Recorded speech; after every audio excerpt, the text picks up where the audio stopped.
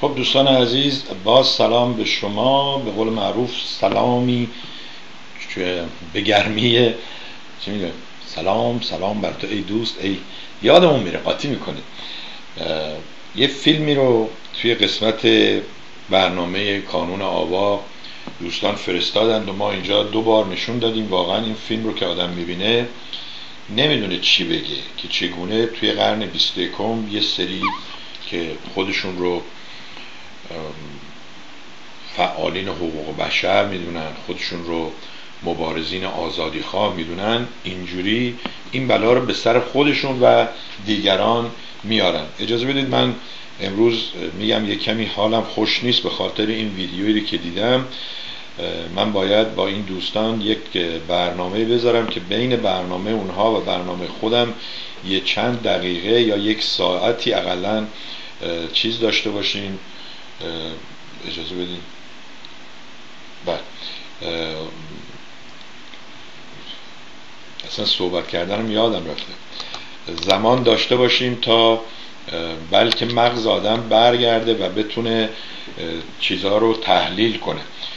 در صورت برنامه امروز جمعه 24 آهام سلامی چو بوی خوش آشنایی.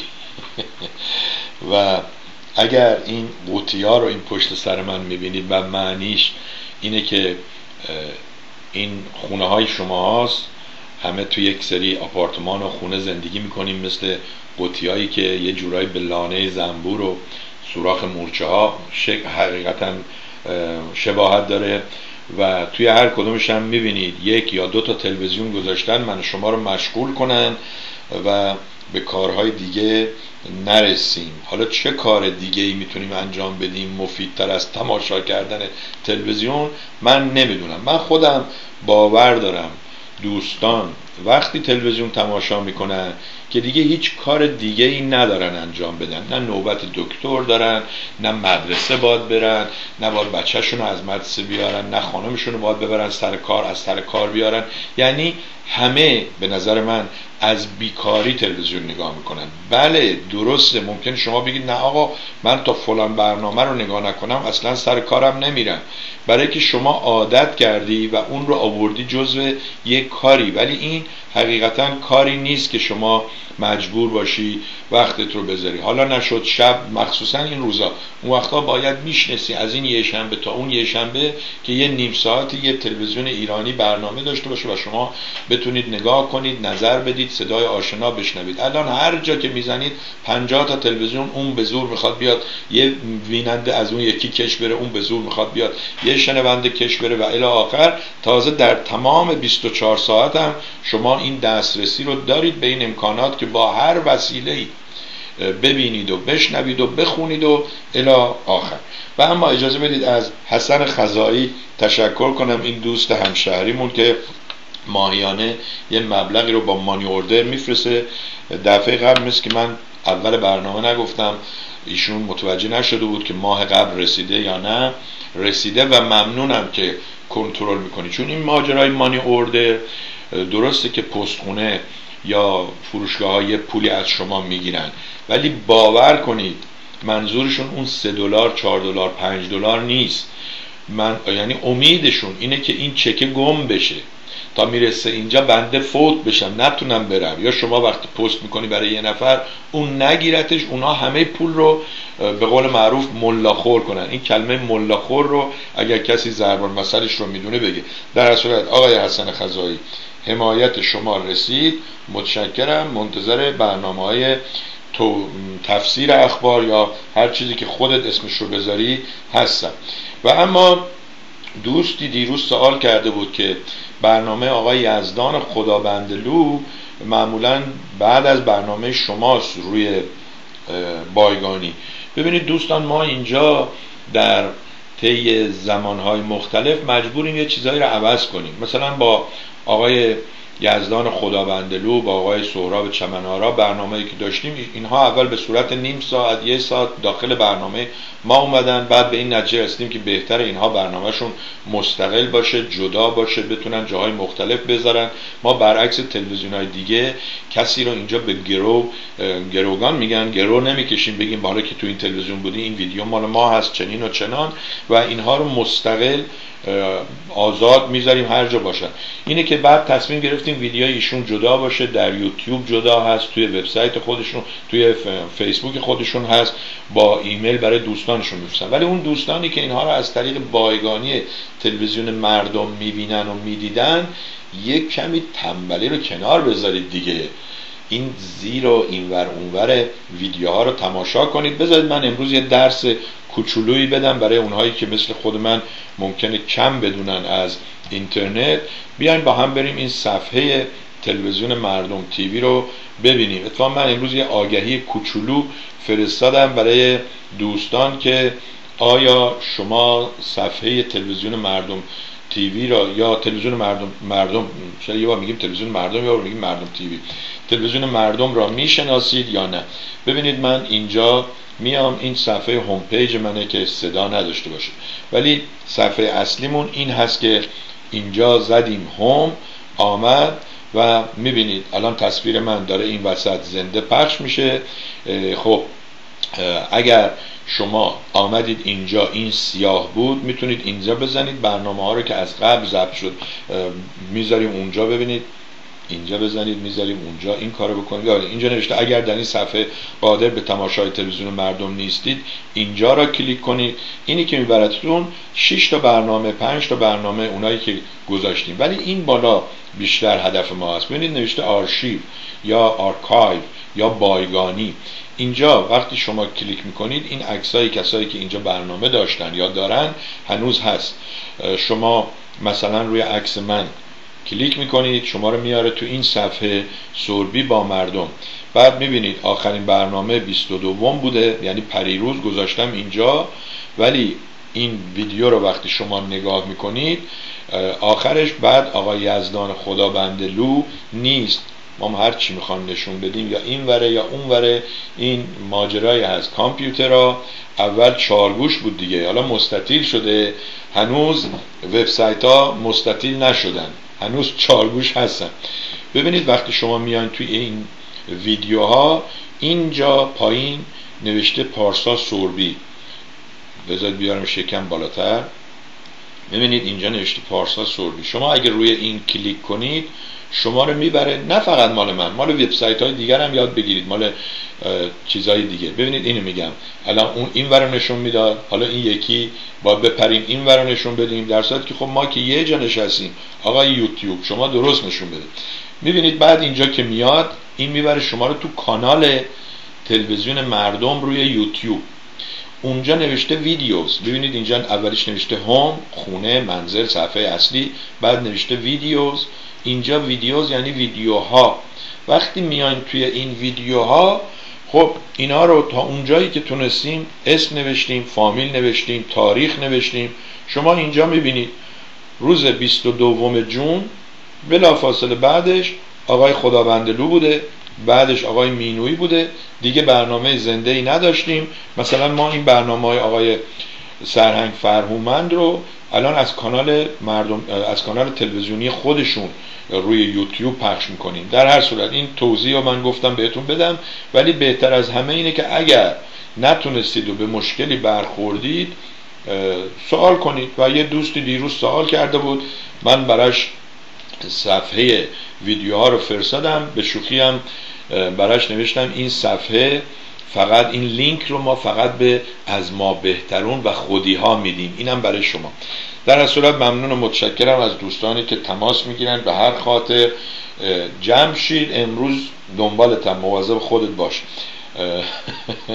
که واقعا شما آقا جمشید اون معنای من سالها پیش می‌تونم بگم سی سال پیش 28 سال 27 سال پیش شاید 29 سال پیش یه ویدیویی رو می‌دیدم.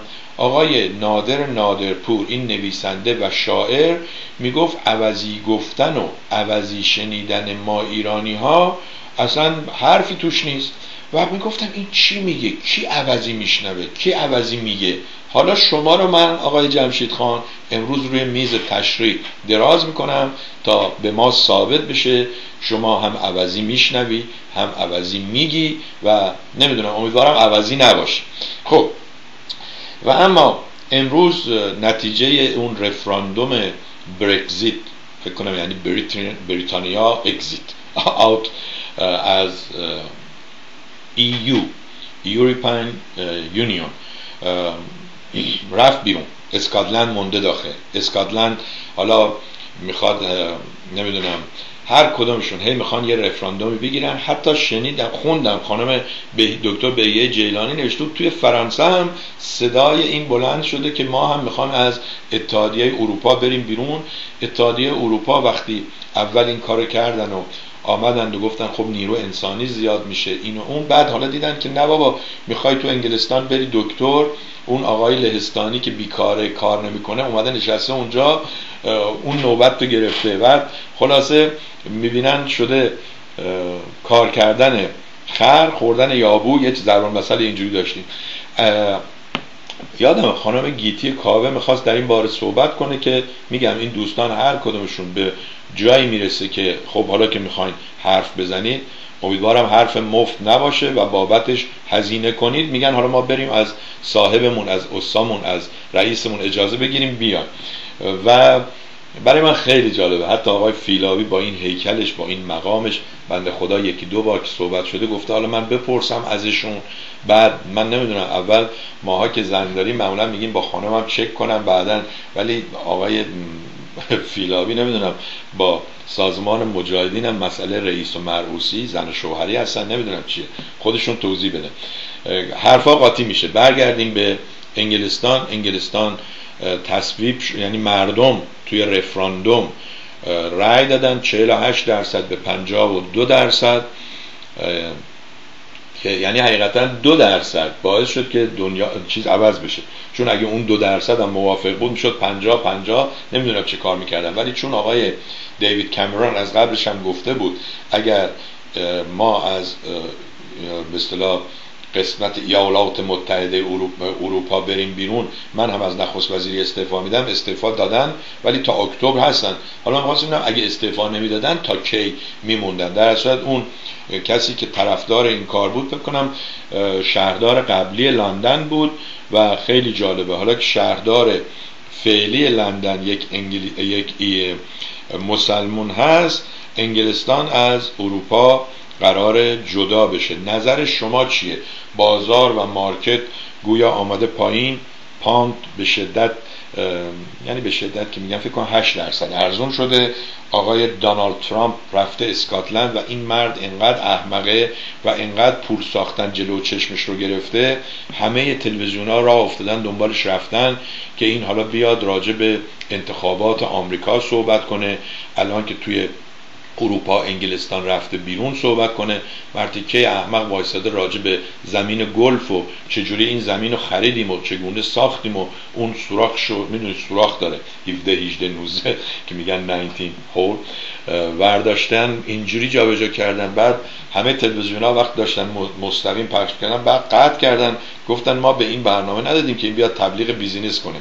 این هم از این ماجرا. شما نظرتون چیه؟ آقای دوشوکی می‌دونم که از قبل از این انتخابات و رفراندوم می‌گفت که ایشون دوست داره که انگلستان بره بیرون. نظرات مختلف و متفاوته. من نظر به خصوصی ندارم چون اونجا زندگی نمی کنم برای من مهم نیست.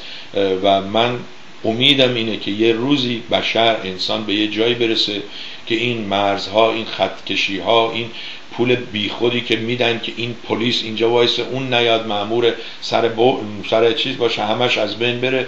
ماها مثل آدم مثل انسان از این کره خاکی استفاده کنیم. حالا اسمش می‌خواد یونایتد نمی‌دونم ایالات متحده دنیا باشه یا هر چیزی برای خودش. در صورت اسم مهم نیست.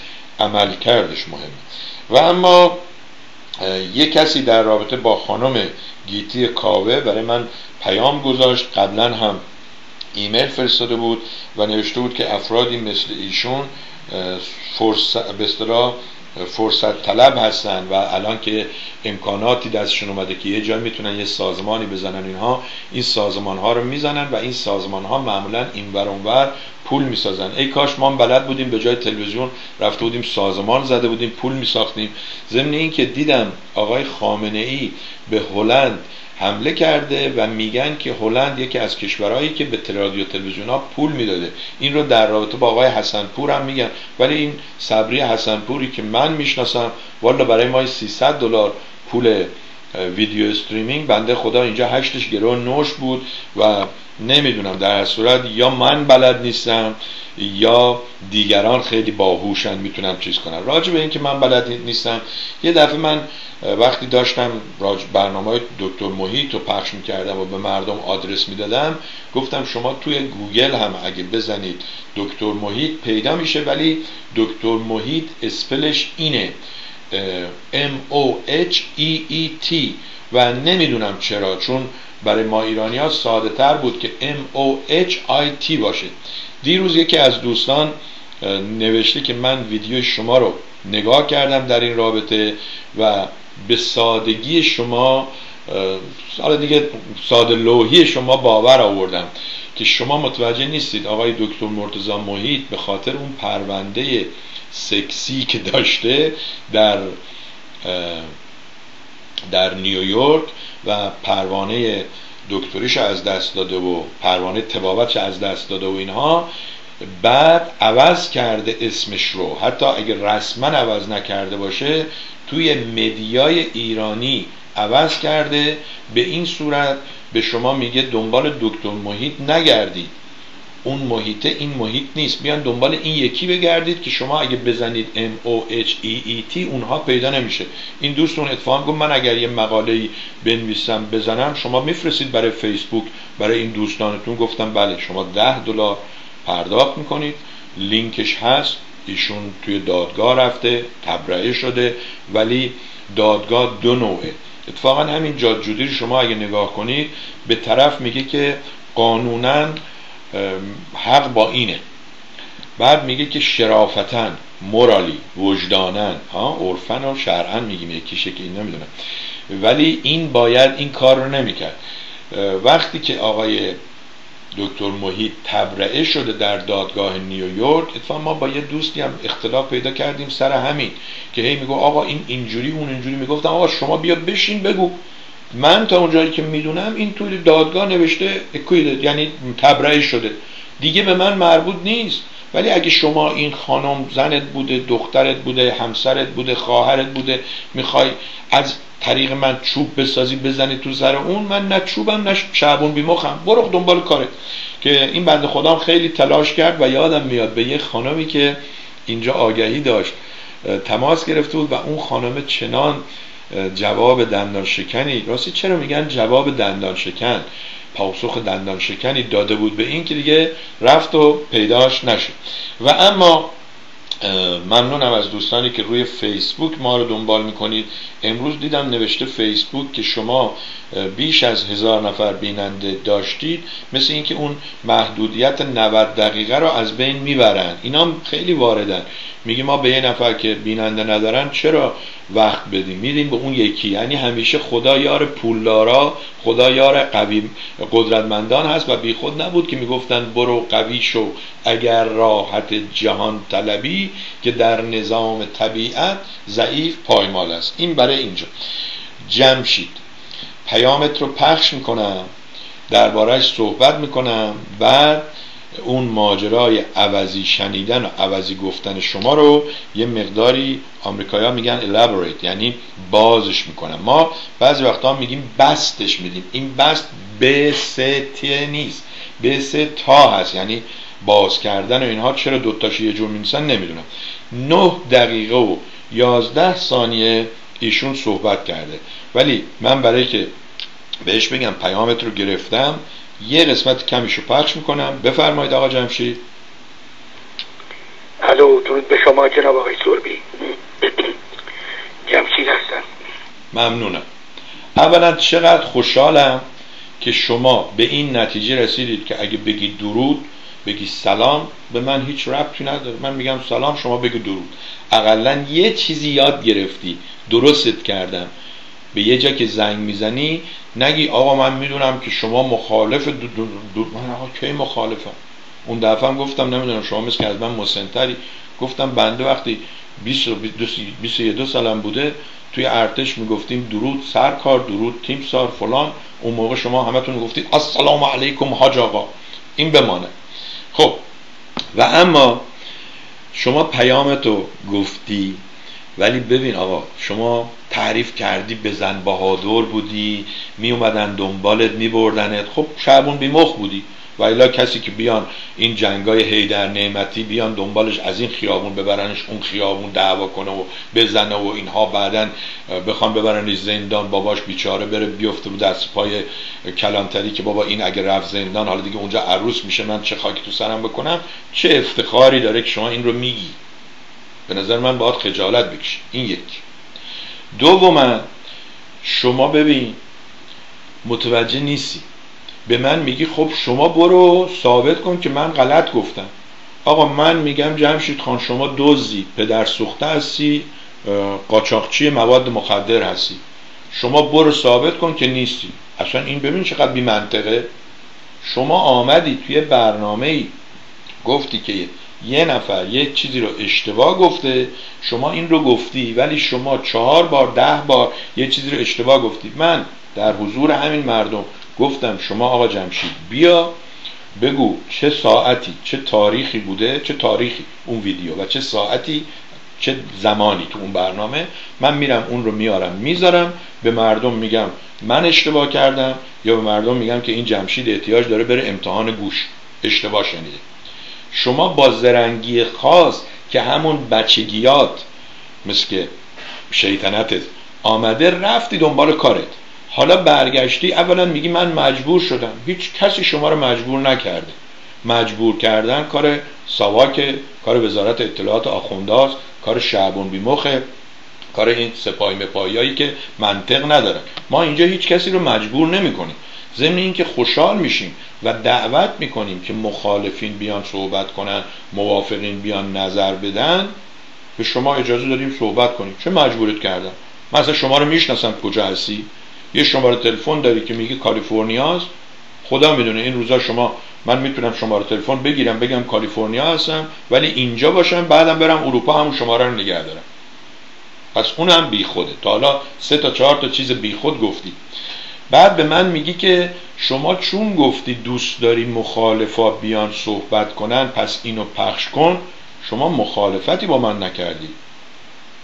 شما داری دشمنی می‌کنی. اونم نشستی تو تاریکی سنگ میندازی به خونه ای که تو شیشه و روشنایی. من اگر می‌خوام کاری بکنم باید خدمت به کار خودم بکنم. بیام شما رو بگیرم یه پس گردنی هم بزنم سنگارم از دست بگیرم که این همسایه ها راحت باشن. اگر شما حرفی برای گفتن دارید مثل یک انسان وارسته و شایسته میای میشینی تو اسکای با هم صحبت می‌کنیم. مردم منو می‌بینن شما رو هم می‌بینن. بعد میگن عجب سوربی بی خود حرف می‌زنه. و این آقای جمشید که گاهی خمشید عجب خوب صحبت می‌کنه. من جمشیدم. جمشید کی؟ کجا؟ چه کاره کی به شما حق داده؟ اگه اشتباه نکنم شادم اشتباه می‌کنم.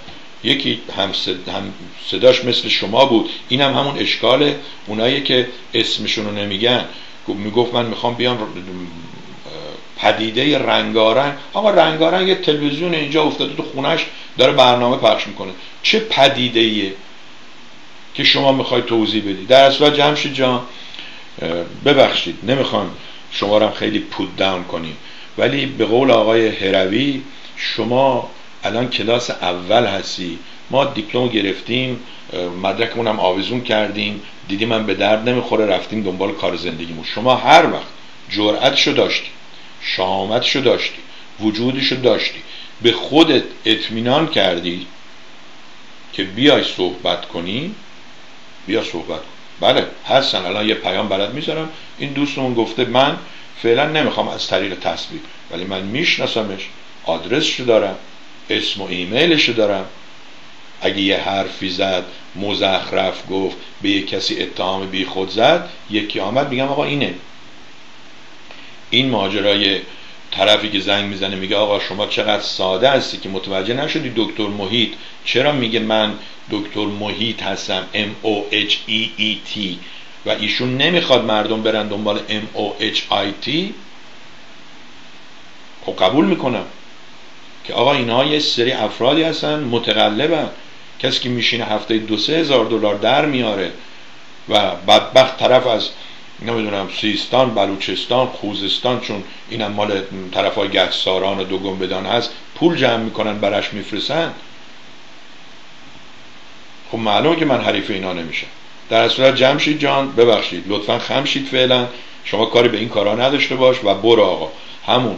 حرفی که زدی. حالا ما بخشیدیم گفتیم چون ما رو خندوندی و ما آدم مفتخوری نیستیم اون نمی‌دونم 40 دلار 10 دلار هزار دلار هر چی شرط بسته بودیم ما بخشیدیم. چیزی که از شما بچه پررو هستی. بچه پررو یعنی همین که دوباره میاد میگه آ این پیام خود تو گوش کن. ببین شما چی گفتی. من بهت گفتم آقا شما آمدی تو این دادگاه مردم میگی این سوربی دزده. بیار دزدی ما رو ثابت کن. رفتی آمدی بعد میگی نه من گفتم حالا تو شما رو ثابت کن دزد نیستم. برو آقا. اون بابته که خدا بیامرزتش.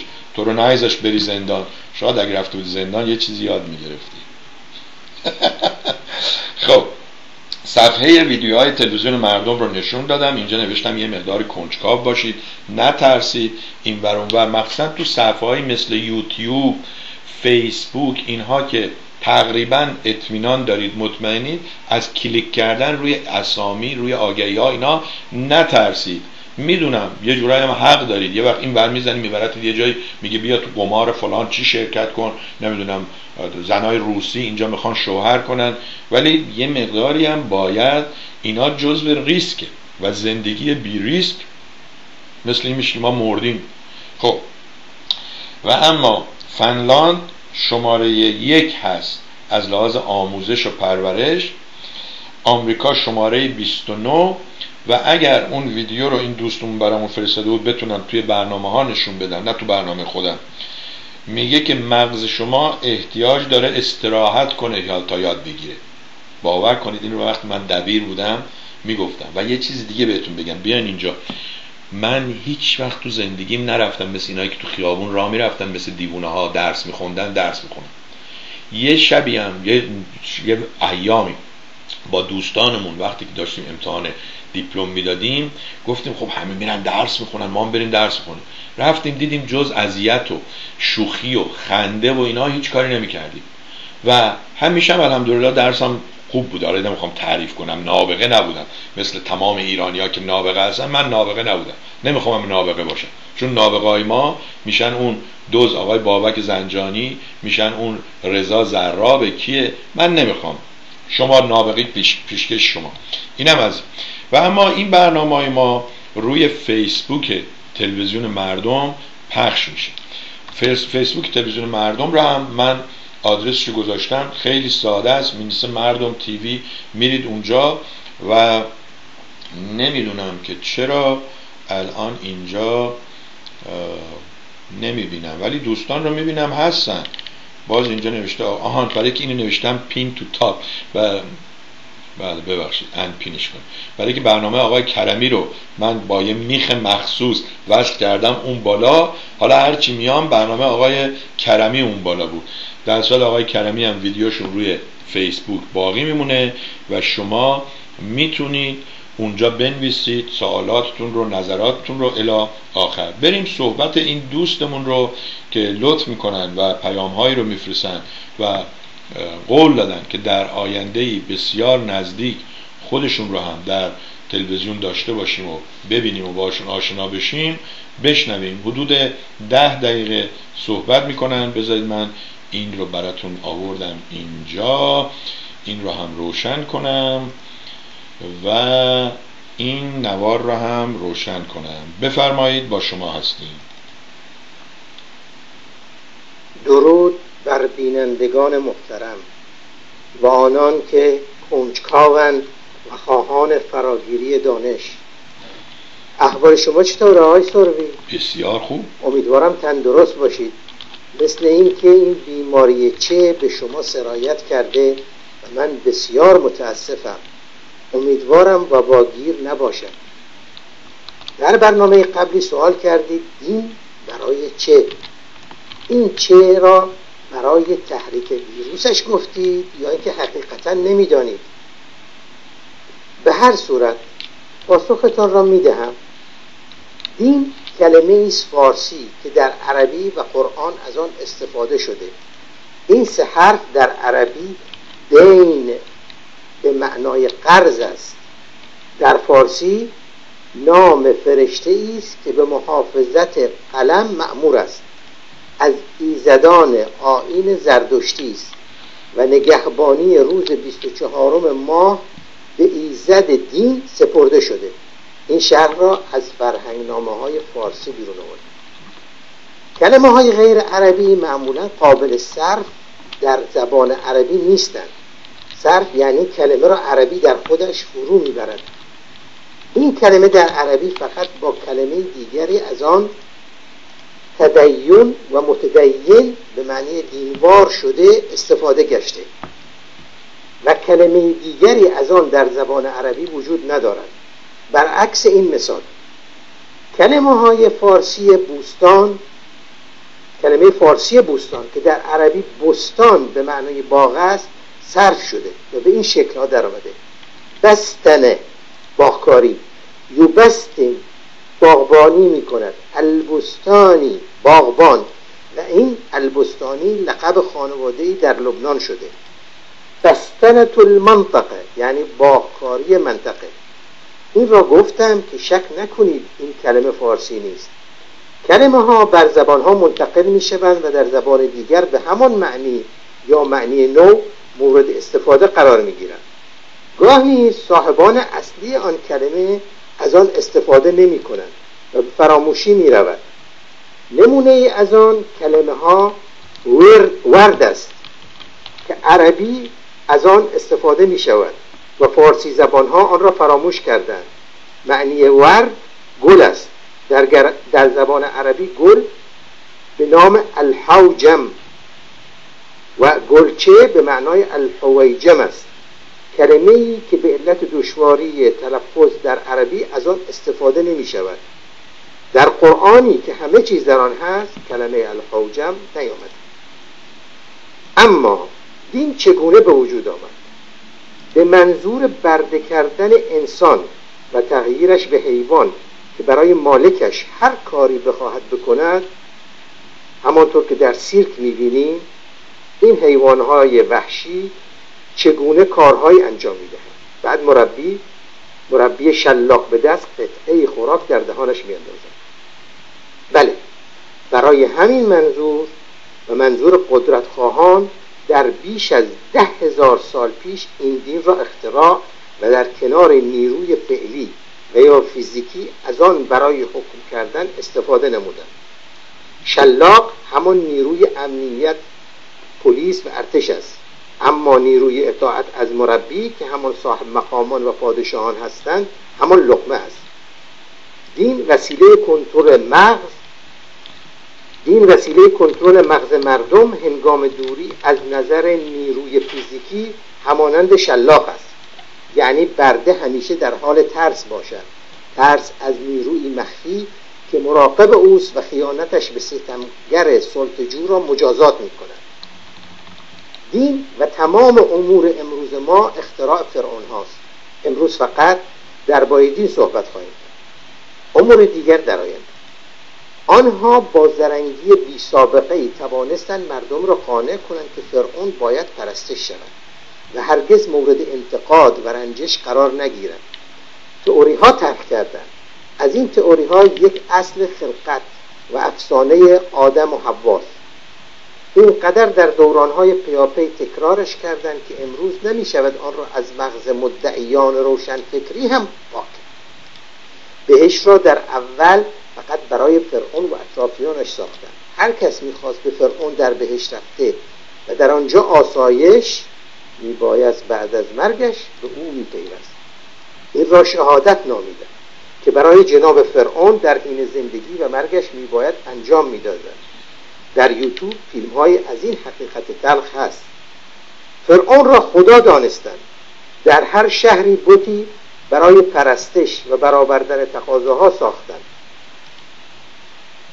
در این معبدها تمام فساد و تجاوز به ناموس زنان و پسران توسط مردان بتفروش و بعد خدافروش همانند آنچه در کلیساها و مدارس دینی در تمام دنیای امروز انجام می شود در آن زمان رایج بود معیارها نسل به نسل با تغییر نام به ارز رفت بزرگترین بت در مصر قدیم آمون بود لکن هر شهری بت مخصوص خود را داشت و بتها با هم رقابت می کردن. از خود پرسیدم چه شده؟ ببخشید این اشاره به ویروس در مغزم است ببخشید. بله پرسیدم چه شده که یهودی ها مسیحی ها مسلمانان و سیخ ها همه از کلمه آمین استفاده می معنی آن چیست؟ باز این حرف چه؟ خواندم که یک گروه مسیحی در دعاهایشان از آن استفاده نکرده و آن را بتپرستی می‌دانند. آخر چرا؟ باز هم چه؟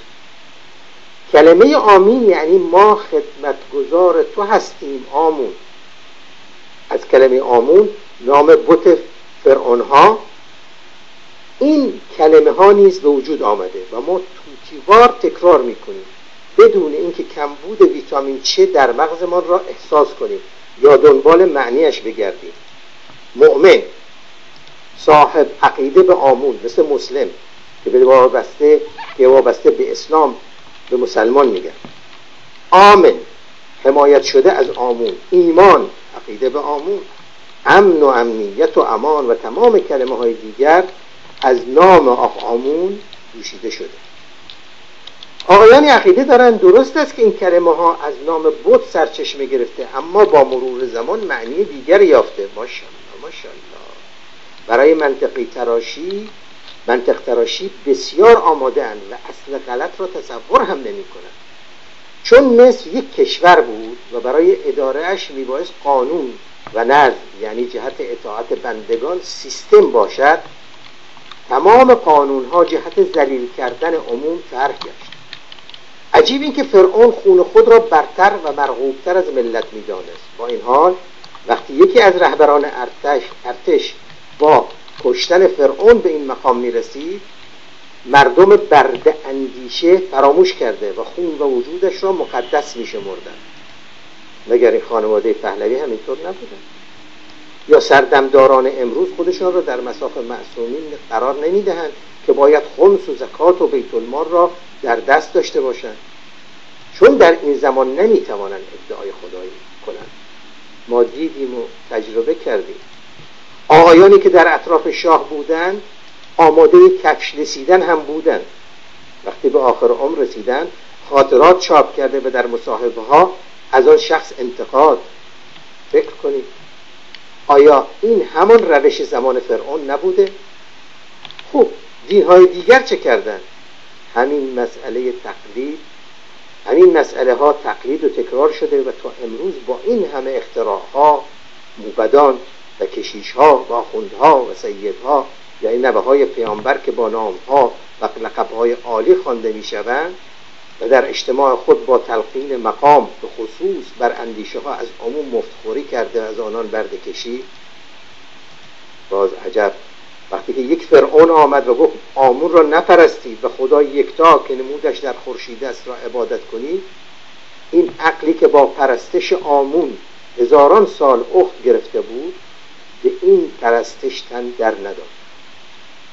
این فرعون نام خود را از اخن آمون یعنی محبوب آمون به اخن آتون نام خدایی که او معرفی کرد تغییر داد. با موبدان آمون جنگی و برای خلاصی از نفوذشان پایتختش را اتیبس به شهری به نام بهشت آتون برد. با این حال مردم شهر نو شهر نو ساخته محرمانه بت آمون را می پرستیدن این فیلمش هم باز در یوتیوب هست. این فرعون در 1350 سال قبل از مسیح میزیست. در سریال پیامبر یوسف ساخت ایران او را مؤمن به یوسف معرفی کردن در آینده یوسف را بهتر خواهیم شناخت.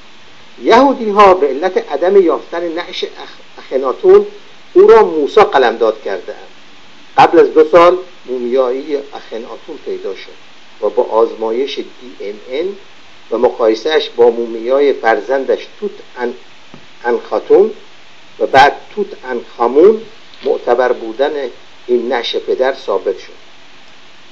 توت انخامون همان است که در بزرگترین آرامگاه فرعونها تابوت طلایش کشف شده.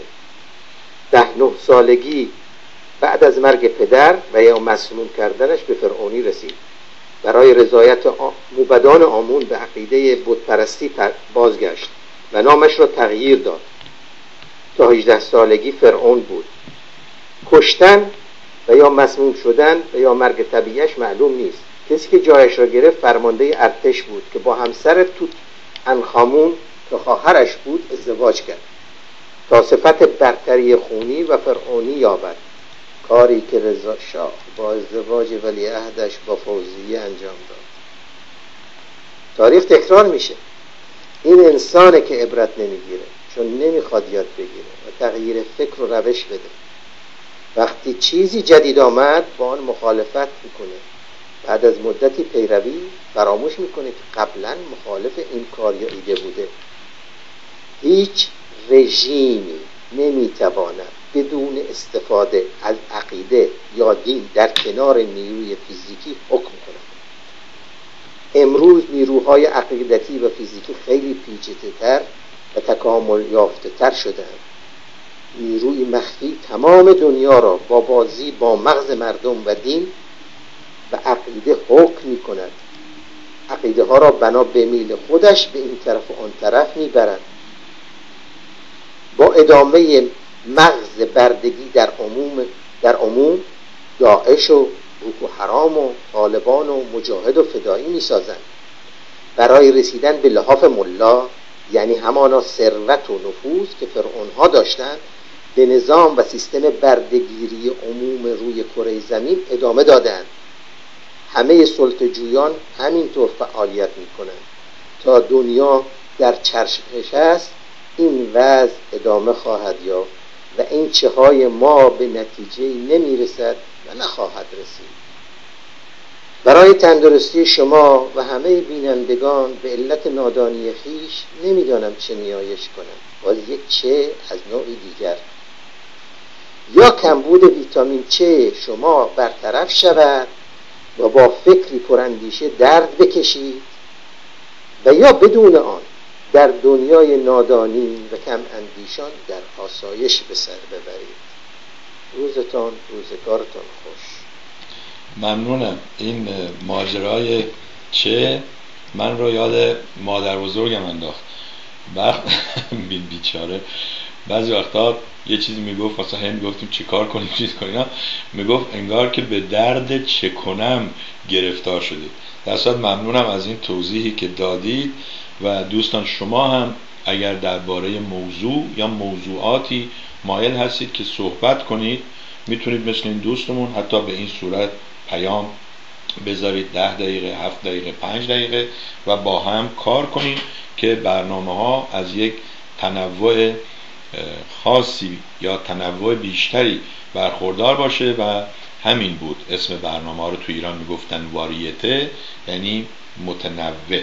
و اما اجازه بدید من این تاریخ و تقویم و اینا رو روشن کنم. این زیر برای شما بیان و برن و بریم سراغ آها راجع به فنلاند آمریکا گفتم. سیستم تحصیل توی فنلاند میگه ساعت ها روزی سه چهار ساعت بیشتر مدرسه نمیرن و اینجوری هومورک یا تکلیف به اصطلاح درس و مشق و اینا تو خونه خیلی کمه و اونجا نشون داد. اینو مایکل مور اون کسی که فیلم های چیز می‌سازه که از دولت انتقاد می‌کنه اون این فیلم رو تهیه کرده. حالا اگر بتونم اصلش رو پیدا کنم اون رو مخصوصا تو این فاصله ویکند که دو سه روز از شر من راحت میشید اونها رو می‌ذاریم نگاه کنیم تا یه چیزی هم یاد بگیریم که اون دوستانی که تلویزیون رو با دانشگاه اشتباه کردن و فکر کردن الان میاد میشینن ساعت ها تلویزیون نگاه می‌کنن بعدم بهشون یه مدرک فارغ و تحصیلی میدیم اونها هم بهره ور بشن یا بهره مند بشن.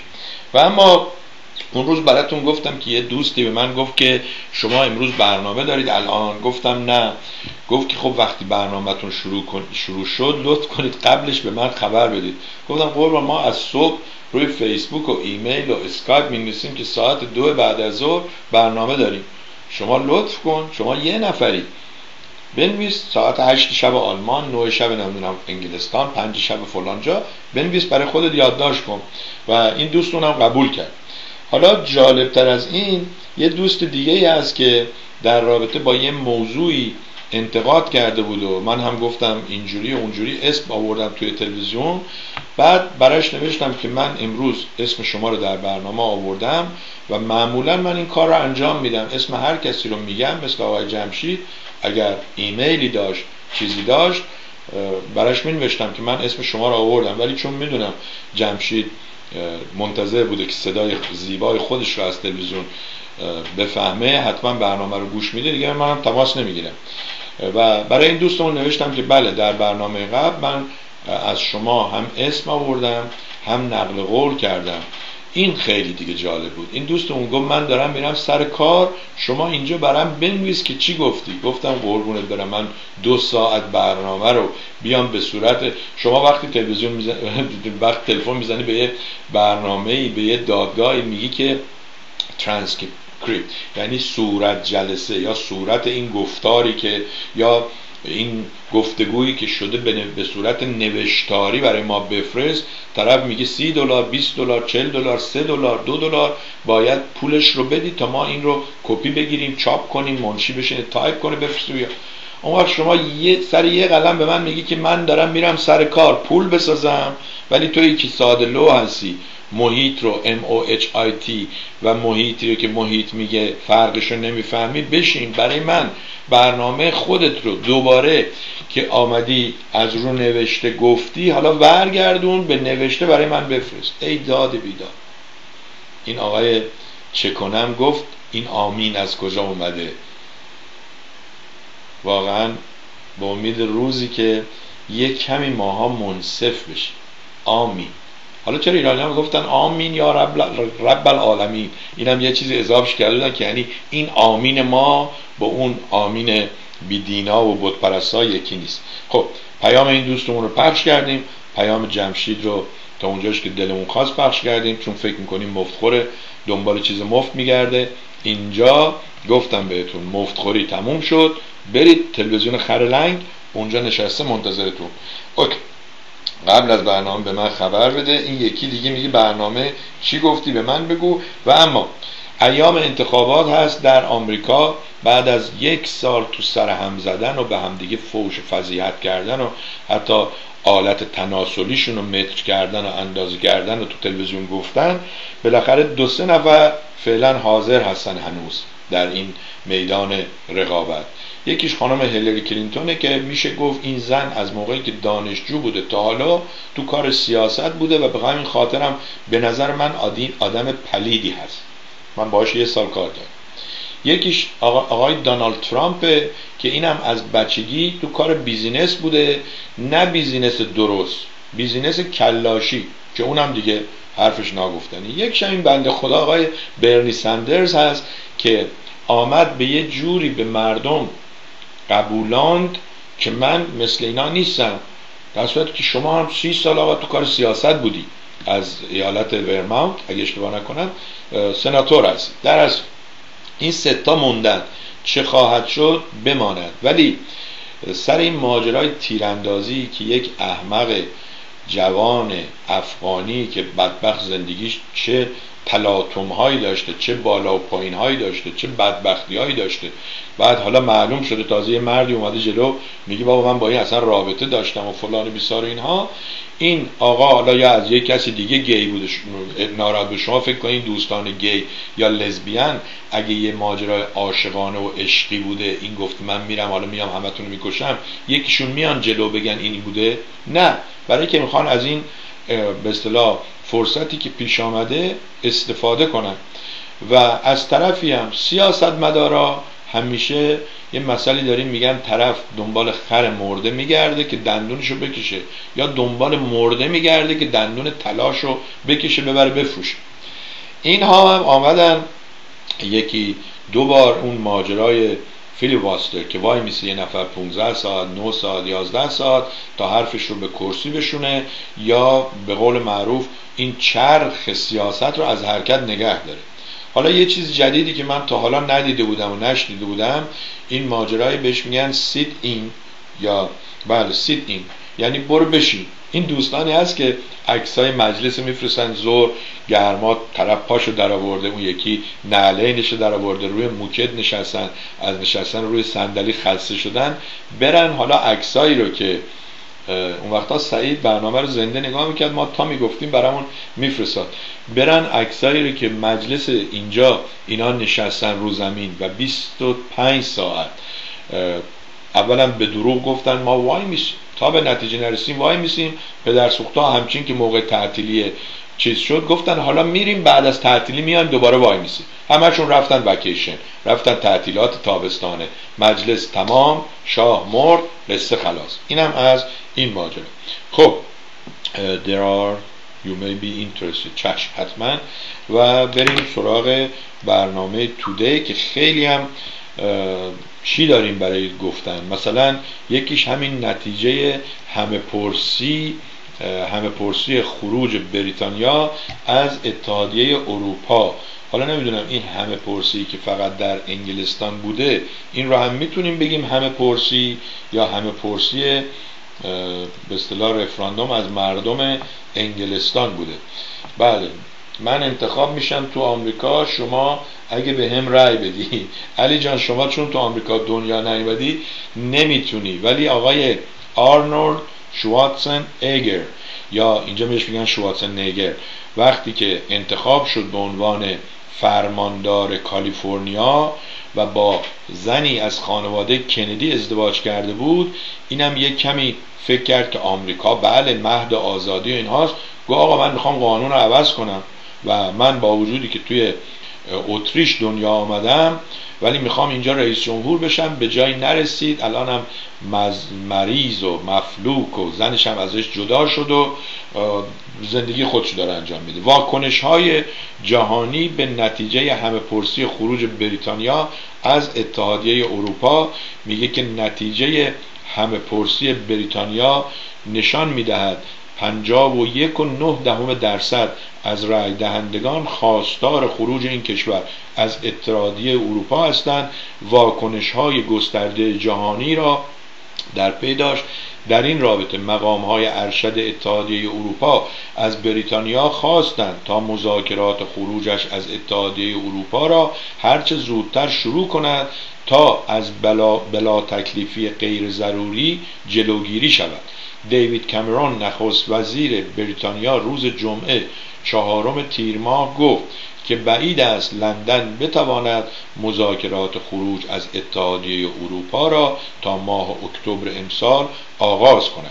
اما ساعتی بعد به گزارش خبرگزاری آلمان چهار تن از مقام های اروپایی با انتشار بیانیه از لندن خواستند تا تصمیم خروج را هرچه زودتر اجرا کند. تا هر زودتر اجرایی کند تا از ضررهای ناشی از دوران بلا تکلیفی جلوگیری شود.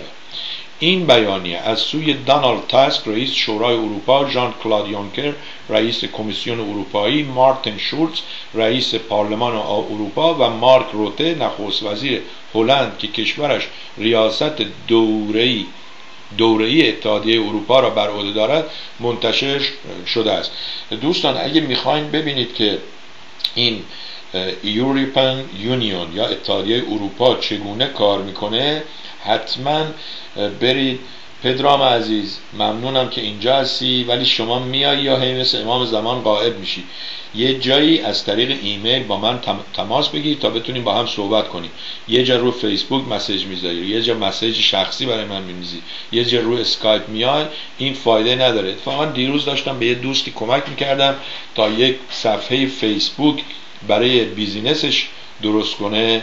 بهش گفتم که من به شما کمک می‌کنم ولی اگر یک دوستی همون روز اول به من گفته بود نکن آقا این کارو یه صفحه برای خودت یه صفحه برای مورچت یه صفحه برای نمی‌دونم کبوترت اینها باز نکن. من وضعم بهتر بود چون الان دوستان پخش شدن. چهار تاشون اینجاست چل تاشون اونجاست صد تاشون اونجاست. به هر کدومشم میگی که دیدی اینا میگی نه من اونجا بودم شما کجا گذاشتی؟ میگم آقا برم کو در صورت اینم از ماجرای پدرام همشهری عزیزمون سالهاست قول داده بود که با تلویزیون مردم همکاری کنه و ما اون موقع جوانتر بودیم. قول این دوستان رو باور می‌کردیم. الان دیگه تجربه از اون گذشته و قولهاشون رو قبول نداریم. خلاصه واکنش ها در اروپا و طرز کار کردن اتحادیه اروپا رو می‌تونید نگاه کنید که چگونه است و چند تا نماینده دارن 700 تا نماینده و چجوری این ماجرای شورای تصمیم گیری دور می‌زنه و عوض میشه. من حقیقتش چون اینترستی ندارم علاقه ای ندارم دنبالش هم نمیرم. این هم از این برنامه و بریم سراغ پرونده هایی که در برنامه زنده امروز گذاشتیم. خب به نظر می‌رسه که دوستان از فیسبوک هم صدای ما رو خوب دارن چون چند روز گذشته شکایتی نشده و باز باید تشکر کنم از اون اولین کسایی که شکایت کردن و گفتن که صدا تو فیسبوک خوب نیست تا ما یک میکروفون هم برای فیسبوک بذاریم یا وقتی صحبت می‌کنیم مصاحبه می‌کنیم یه دونه از اون بلنگوها رو هم اختصاص بدیم به فیسبوک. خب و اما این خبر خیلی جالبه. حالا چی میگن؟ اون وقتا گفتن مشغول ذمه طرف نشیم ولی قیافه این آقای کشیشم خودش می‌گفتن اون وقتا چیز؟ شرح رخساره خبر می‌دهد از سر درون. چجوری آقا همه اینا ما یادمون رفته؟ حال رخساره نقش رخسار نقش رخسار خبر می‌دهد از سر درون. اخبار ایرانیان کانادا یه چیزی نوشته به نام اخبار روزانه. اینجا جالبه که نوشته فتوای اسقف مونترال. هیچ کشیشی نمی‌تواند با کودکان تنها باشد. خب خیلی از شماها مثلا من دیدم این آقای سرهنگ فرهومندم هی میگه این پال این پاپی که الان داریم خیلی آدم خوبیه.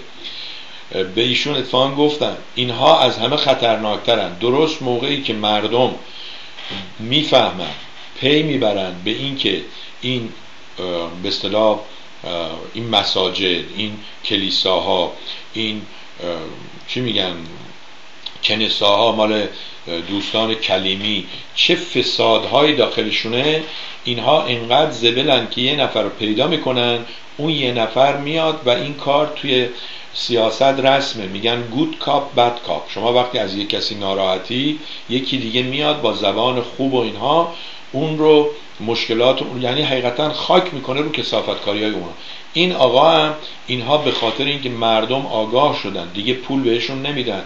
از لحاظ اقتصادی وضع کلیساها به صورت عالی قبل نیست. این آقا هم به نظر من میاد که خودش هم یه جورایی بله. خب در از صورت سلام نمیشه اعتران یه فیلمی رو من برام یکی از دوستان فرستاده بود مصاحبه آقای دکتر نوریزاده علیرضا نوریزاده با آقایی به نام ناصر شاهینپر. آقای شاهینپر رو من در مصاحبه ای که بهروز برام فرستاده بود با آقای بیژن خلیلی دیدم. به نظرم آدم معقولی آمد. حالا بعد از مصاحبه با آقای نوریزاده به این نتیجه رسیدم. که اینایی که مصاحبه میشن بستگی داره اون آدمه اگه آدم معقولی باشه آدمی باشه سرش به تنش بیارزه اینم وای میسه. اگه بیفت با یه آدم پدر سوخته سو استفاده چی اینم شروع می‌کنه سو استفاده می‌کنه. آخه آقای شاهین پر شما که از جوانی تو کار اقتصادی بودی و معاملات کشورهای عربی آخه مرد ناحسابی. چهار تا پیکان درست کردن و چند تا ماشین مجانی دادن به کشورهای عربی و اونا انداختنشون توی جانکیار. این شد اقتصاد سازنده ایران که دنیا رو کشورهای بزرگ رو به وحشت بندازه خجالت بکشید. واقعا شما با این تفسیرهای آبدوخیاریتون که به درد همون فیلم های فروالا فیلم های فردین بعضیهاش خوب بود بماند. نوشتی که من این دوستمون که سالها تو کار رادیو تلویزیون بوده و نویسنده است و محقق و اینهاست براش این رو فرستادم که آقا این چی میگه؟ با آقای نوریزاده نشستن مصاحبه می‌کنن ایشون قشنگ نوشته. نوشته که نمیشه قرضها و مرزها و هدفها و منافع شخصی را هنگام اظهار نظر منتفی کرد. آقای نوریزاده به جهت منافع شخصی اظهار نظر کرده و با تظاهر به برتری مانند دانستن برگزیدن آقای بازرگان به نخست وزیری توسط آقای خمینی قبل از اعلانش سه روز قبل از اعلامش اینها کسی میآید به ایشان بپرسد چرا توانستی پیش بینی کنی؟ چرا نتوانستی پیش بینی کنی که رژیم مستبد و آنطور که می‌گویی بر سر کار خواهد آمد؟ اما خوشحالیش بابت اتوبوس های جمع شده و نساخته شده. جمع شده می‌دونید مونتاژ به اصطلاح صنعت مونتاژ یه مشت تیکی تیکی چیار به شما میدن شما اینا رو جمع می‌کنی. مثل که شما بری اینجا بگی من می‌خوام یه هواپیما هواپیما برای بچم بسازم. بهت میگن آقا این 300 دلار اون 400 دلار بعد اینو میاد جمع می‌کنی شما اینو میدی به بچت به بچت که نمی‌تونی بگی من اینو ساختم برای تو. الا که احمق باشی. الا که بشینی بغل دست آقای نوریزاده آقای شاهین پرم احمقی از این وا بگیره. این دوستمون گفته بود که امیدوارم واگیر نباشه. ولی شما به اشتباه گفته بودید و واگیر نباشه. فکر کنم دو تا خونده بودید. واگیر نباشه. میگه صنعت ما آقا چه صنعتی؟ چی داشتیم؟ چه کار می‌کردیم؟ این مزخرفات چیه؟ هر صنعتی داشتی اگر اون مواد اولیهش رو من یادمه. لاستیک بریجستون رو آوردن توی شیراز. اگه این چیزای لاستیک سیاهش از ژاپن از طریق بوشهر نمیمد همه باید وای میسادن اینجوری. دست میذاشتن زیر چونشون این مزخرفات چی بود آقای شاهین پر؟ شما گفتی. ای کاش همچین مصاحبه مزخرفی انجام ندادی. گشتم دنبالتون پیدا نشدید. اگه کسی شماره و contact information اطلاعات تماس با آقای, ناش... آقای ناصر شاهین پر رو می‌دونه. بهش بگی که سوربی دربارت صحبت کرد و ازت قطع امید کرد مگر اینکه بیای صحبت کنی بگی که بر چه اساسی چنین مزخرفاتی رو در اون جمع گفتید آیا قبلش عرقی مرقی شرقی تریاکی؟ به ما بگی. اینجا رسمه. تو آمریکا وقتی یه نفر خیلی مزخرف میگه اون طرف میگه آقا این چی میگه؟ میگه آقا این حرفا چیه؟ ای کاش من می‌دونستم که این چی کشیده. منم بکشم برم تو حال هوای این.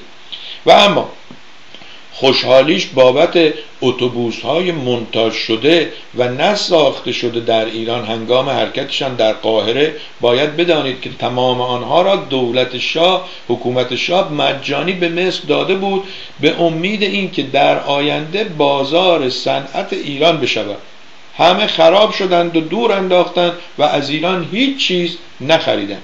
اغلب صنعت های ایران بدون برنامه بود. از این رو از هم پاشیدنش بعد از انقلاب حتمی بود. هیچ صنعتی از ایران به همسایه صادر نمی‌شد. در همان زمان ایران با مبلغ آهان آقای پر با افتخار میگو ما آفتابه پلاستیکی صادر می‌کردیم به این شیخ نشینا. حالا اون شیخ نشینا بیشترشون کیا هستن؟ ایرانیایی هستن که لابد اون شیخ نشینا چون حرارت زیاده توی آب رو اگه بزنن توی آفتاب مسی وقتی تارت می‌گرفتن پس و پیششون میسوخته. گفتن خب اینا بهتره و ارزون تره برید آقا واقعا خجالت بکشید. به خدا یه مدتی حرف نزنید. مثل این شاعرها که من گفتم یه چند ماه شعر نگید برید آقا دنبال کارتون. همتون یه پولی این وروای کش رفتید. خب یکی مثل آقای نوریزاده باید در قبال پولی که می‌گیره کار کنه افراد رو مشغول کنه. اونم چه فایده؟ یعنی یه روزی اگه مثلا نوریزاده یه چیزی بگه مردم واقعا به دستورش میریزن بیرون. اگه می‌شد که این کار کرده بودن تا حالا خب بله اغلب اینجوری و ایران به همسایه صادر نمی‌شد. در همان زمان ایران ایران با مبلغ 250 میلیون دینار به هدف از نوسازی منطقه کانال سوئز یک شرکت ساختمانی تأسیس کرد. با خود گفتم آنها مهندس عربیدان و آشنا به اوضاع و لحجه مصر ندارند. چرا نروم با آنان کار کنم؟ آقای هویدا آمد بحرین. به ایشان شخصا نامه در این خصوص دادم بعد از مدتی یک نامه از شخصی که متصدی امور نخست وزیری بود رسید که در آن چیزی قابل درک ننوشته بود. بعدها فهمیدم این مبلغ رشوه بوده به آقای سادات و حکمرانان وقت مصر تحت عنوان سرمایه گذاری و نوسازی. گفتهشان در اینکه آمریکا با پشتیبانی از انقلاب اسلامی خواهان ساخت زنجیر درش اطراف شوروی بود صحیح است. یه حرف درست هم زدی. این وسط آقای شاهین پر. اما آقا اگر زرنگ بودی همان وقت میفهمیدی الان نمی‌خواهد با خودفروشی ادعای فهم و شعور بر ما بکنی. تاریخ را هم می شود بنا بر منافع روز عوض عرض, عرض نمود. و اما صحبت کردن در بارش به صورتی که نمودند مثل اینکه در آن زمان میزیستند غلط است. خدا آقای نوریزاده خدا جعفر رائد را بیامرزد که با معرفی شما به سعودی ها یک راه کلاشی و نون خوردن برای شما باز کرد. ای نوریزاده هر کس استعداد خودفروشی داشته باشد حتما نانش توی روغن میره و چیزهایش در اختیار دیگران. برای ایشون نوشتم ممنون. بعد نوشتم این کلمه خودفروشی کلمه جالبیه. چون اینایی که هر چیزی که داشته باشی بفروشی بالاخره یه روزی تموم میشه. حالا من سوالم از آقای نوریزاده اینه که ایشون که مشغول خودفروشی هست به اعراب آیا افراد دیگه ای رو هم می‌خره که بذاره جای جنس خودش بفروشه. یعنی خودش رو میفروشه بعد هی خودی وارد می‌کنه میفروشه. حتما می‌بینید اینهایی که دور برش هستن. و اما عکسی که بهتون گفتم مجلس اینجا یکی از دوستان این رو فرستاد. ببینید که چجوری روی زمین نشستن و شروع کردن شعرهایی رو که توی سالهای پدرام جان ضمنا شما برای من مینسی سهراب. من عزیزم فامیلیم سربیه. تو شیرازم به ما می‌گفتن سروبی همون جنس سرب فلز سرب که باهاش گلوله درست می‌کنن. من سهراب نیستم. اگه سهراب بودم به دست پدرم کشته می‌شدم. پدرم هم نادان نبود مثل رستم که ندونه من پسرش نبودم الان می‌دونه آقای چمنارا عصبانی میشه و زنگ می‌زنه. می‌بینید که اینها همش نشستن روی چیز و یکیشون امروز صبح دیروز با آب و تاب تعریف می‌کرد من گرسنه و سرما اینجا موندم. بعد از اون ور نشون می‌داد براشون خوراک بردن پتو بردن بالش بردن. واقعا اینا چقدر دروغ میگن. و یه سری آدم های ساده چقدر دروغ های اینها رو به اصطلاح باور می‌کنن. جهت اطلاع دوستان گرامی و عزیز امیروشنگ آریانپور میگه که والا ما هر چی صبر کردیم دیدیم اونایی که هیچی بار چرا میگن هیچی بارشون نیست؟ اونایی که هیچی بارشون نیست هی پوز میدن و فیس و افاده. ولی این خانواده آریانپور که خانواده بوده در تبعید بوده یه مدت با دولت مختلف دولت مختلف در جنگ بوده و اینها 24 تا دکتر به جامعه تحویل داده. که برید ببینید خانواده زلیل پهلوی یه دونه دکتر مثل که داشت اونم نفلش و خجالت آوره در صورت ایشون این بار ملک المورخین پدر بزرگ مادریشون رو معرفی کردن. به نظر من از بلاگ وبلاگ ایشون دیدن کنید از فیسبوکشون دیدن کنید. باهاشون در تماس باشید تا این جزو لیستشون بشید و این مقاله ها رو براتون بفرستن متاسفانه در تلویزیون من نمی‌تونم مثلا یه چیزی رو که چهار صفحه است بشینم بخونم ولی اگر خود این دوستان به صورت آدیو به صورت کتاب گویا مقاله گویا در بیارن ما با عکس و با توضیحات نشون میدیم و یه مجموعه میشه. و اما یه دوستی خیلی جالب بود ماندانا خانم. برای من پیغام گذاشته بود که آقای سوربی این آقای عقیلی پور که چنین گفته و چنان نوشته اینجوری نبوده. بذارید براتون بخونم. Hi Mr. Sorby Thank you for broadcasting my message. ممنونم که پیام منو پخش کردی The picture you showed in your Monday show شاه میگه برنامه رو که توی روز دوشنبه نشون دادید اون برادر شاه و شاه و ماجرای slapping the Arab guy و ماجرای تو گوشی زدن این ما نوشته بودیم اینجا در گوشی چون کپی کرده بودیم مردم برامون نوشتن آقا در گوشی یعنی در گوشی حرف زدن ولی تو گوشی زدن مثلا میگن زد تو صورتش زد تو سرش زد تو گوشش. حالا بعضی هم میگن در گوشی من نمی‌دونم ولی در گوشی برای صحبت های در گوشی. در صورت خانم ماندانا نوشته که The brother was not علی رضا was غلام رضا. میگه که اون برادر علی رضا نبود و غلام رضا بود. Again you see and he is the only one. و تنها کدومشون هم هست که زنده است. میگه که این خواهر و برادرها این یکی داخلشون. He is 102 years old. The big thief دزد بزرگ. I'm sure by now some other people میگه مطمئنم که الانم خیلی های دیگه به شما گفتن که سرهنگ عقیلی پور نه عزیز من کلونل عقیلی پور اینو به من نگفته. آقای آریان پور گفت بودن. حالا آقای آریان پور برای شما جواب دارن. ضمنا شما پرسیدین که by the way یعنی ضمنا why Mr. عقیلی پور call himself colonel colonel مگر چرا نمیگن سرهنگ؟ Is there any special reason for یه دلیل مخصوصی داره. این رو اگر بذارید ببینیم این اشتون چی میگه. گفتم من می‌خواستم اسمم اشتون بذارم. وقتی اومدم آمریکا سوربی روی خودتون کنترل داشته باشید. در مورد رستم سورر لطفا افاظات نفرمایید چشم ما ضد ایرانی بودن شما را قبول داریم.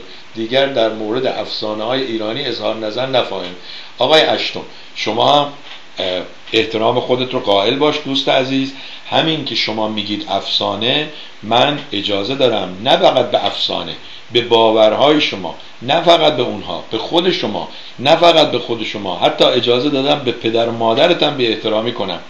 مردم هستن که قضاوت می‌کنی اگه دفعه دیگه اینجوری باشه به قول آقای چیز با یک تو گوشی میندازمت بیرون. آخه مرد حسابی شما سهراب و رستم رو قبول داری؟ حتما بابات رستم بوده دیگه. بابات رفته این ور ور بعدا بهش گفتن این بچه توه. خب برو خوش باش با این داستان. خجالت بکشید آخه. عجب احمقایی هستن. چه خوب شد اسممو نگذاشتم اشتون. چون مثل مثل احمقه. بله. خانم ماندانای عزیز این آقای آریانپور لطف کردن پاسخ دادن. نوشتن سربی گرامی. با عرض سلام شاپور قرآن رضا از همسر سوم سردار سپه. که بعد از بعد از گمارده شدن او به نخست وزیری و با واسطه شدن مستوفی الممالک به همسری سردار سپه درآمد در اردیبهشت ماه 1302 به دنیا آمد. در حال حاضر سن او 93 سال است و نه 102 سال. شاه و اشرف نیز در آبان 1298 به دنیا آمدند و اگر زنده بودند اینک 97 ساله بودند. شرح حال خانم توران و شاپور غلامرضا به پیوست است. این رو من برای خانم ماندانا هم فرستادم و مهم نیست یه سریشون مردن یه سریشون هم که زنده هستن هیچ تفاوتی با مرده ها ندارن. می‌تونیم شما این خاندان جلیل پهلوی رو بگید مثل فیلم میمونن. مرده و زندهشون یکی هن. باید با این آقای اشتون برن تو داستان ها اشتون هر وقت جرأت کردی بیای راجب مزخرفات شاهنامه که کلیاتی بوده. کش رفتن از شاهنامه های دیگه از نوشته های دیگه. با منی که هیچی نمی‌دونم صحبت کنی اون وقت بشین زر بزن که ایرانی هست که ایرانی نیست. آخه اگه من ضد ایرانی هم تو یه احمقی که میگی جانم فدای ایران بیا به من بگو برای ایران چه غلطی کردی. تازه نوشته خودتونم کنترل کنید آخه چجوری آدم می‌تونه خودشو کنترل کنه؟ شما وقتی داری میری می‌بینی یک احمقی داره تو جاده رانندگی می‌کنه میاد می‌زنه مردم رو می‌کشه. حتی اگه شده خودت با ماشینت بری بزنی به اون جلوگیری می‌کنی. و من دارم با ماشینم می‌زنم به تو از تصادفای بعدی جلوگیری کنم. هر وقت جرأت پیدا کردی این گوی و این میدون. پس اولی شد جمشید دومی شد اشتون این خمشید. تشریف بیارید. و اما گلوریا پن. ببینیم که بله این پتیشنی بود که بهتون نشون دادم. پتیشن همون تومار پر کردن و تومار نوشتنه. من خودم حقیقتا چیزی سراغ ندارم که با این تومار نوشتن ها و تومار پر کردن ها به جایی رسیده باشه. و اما بله اون خانم ماندانام نوشتتون رو خوندم. آقای داریوش ممنونم. این دوستمون لطف کرده نوشته که هم میهنی درباره سنگاپور در برنامه شما صحبت می‌کرد. در سنگاپور حکم شلاق وجود ندارد بلکه این نوع احکام قرون وسطایی در کشور مالزی اجرا می شود و فرد مزبور در مالزی شلاق خورد. با درود داریوش احمدی. ممنونم از شما و برای دوستمون فرستادن و جالبه من چون مطمئن نیستم نه سواد این جغرافیایی خوبی دارم و نه مطمئنم به خودم که دقیقا بگم. بعضی وقتا میگم نمی‌دونم کلینتون بود این بود نمی‌دونم مالزی بود سنگاپور بود. اینجاست که وظیفه شماست برید دنبالش. مثل اشتان که الان از امروز باید بره دنبال بابای حقیقیش بگرده. میگه I would really like to know your honest opinion about stalking people. That would be interesting to hear because all your opinion are great. نمیشه که بابا این یک خانمیه برای من این نوشته. نمیشه که همه نظرهای من گریت درست عالی باشه. Why not saying something about that? من میگم به یه شما یه فیسبوکی داری عکس یه خانم نسبتا جوانی اونجاست. شما آمدی اونجا توی فیسبوک صفحه مردم TV اسم آوردی. اسامی چند نفر رو که در رادیو تلویزیون های مختلف کار می‌کنن. از جمله در رادیو تلویزیون Voice of America صدای آمریکا و اونها رو متهم کردی که اونها stalking یعنی مزاحمت. بعض این مزاحمت ها نوعای مختلف داره. اتفاقا من تا اونجایی که جنبه عمومی داشت می‌خواستم صحبت کنم. ولی شما بعد که رفتی اسامی رو گذاشتی من وقتی اونا رو می‌شناسم ولی شما رو نمی‌شناسم نمی‌تونم. مگر اینکه حاضر باشی با اسکایپ بیای بشینی همه حرفی که به جمشید زدم همین حرفی که به خشت... خشتون خمشید زدم و الی آخر بیای بشینی صحبت کنی. و ضمنا اگر شما مورد استاک اینها قرار گرفتی مورد اذیت و آزار و مزاحمت و تهدید و اینها قرار گرفتی شما اگر در کشورهای اروپا و آمریکا هستید که می‌تونید قانونا شکایت کنید احتیاج نداری ولی من نظرم رو براتون بگم. من سه تا دوره کلاس دیدم برای کار رادیو تلویزیون. یکیش همین کلاس گویندگیه که مثل که بنده احتیاج نداشتم. همونجا وقتی که صحبت کردم طرف گفت که شما جای کار کردی؟ گفتم نه. گفت خب خوب صحبت می‌کنی. آمریکایی بود. گفتم من معلم بودم. گفت خب برو دنبال کار. یکیش کلاس سی جی. کامپیوتر گرافیک این چیزایی هست مثلا این زیر می‌بینید؟ الان دیگه بلدم نیستم. از علی خواهش می‌کنم برم بیاد. یا اون پشت مثلا یه چیزی میاد اینجوری و اینها. اینها کامپیوتر گرافیک یا اونایی هستن که سی جی خوندن کار می‌کنن. این رو هم یه کلاس خیلی کوتاه دیدم و چون دیدم من نمی‌خوام اون کار انجام بدم خیلی چی میگم فکرم رو نگذاشتم توش. البته مدرکشو بهمون دادن. اینجا می‌دونید چپ و راست بهت مدرک میدن. شما اینجا سی دلار برو بده. یه کلاسی سوا کلاس چیه؟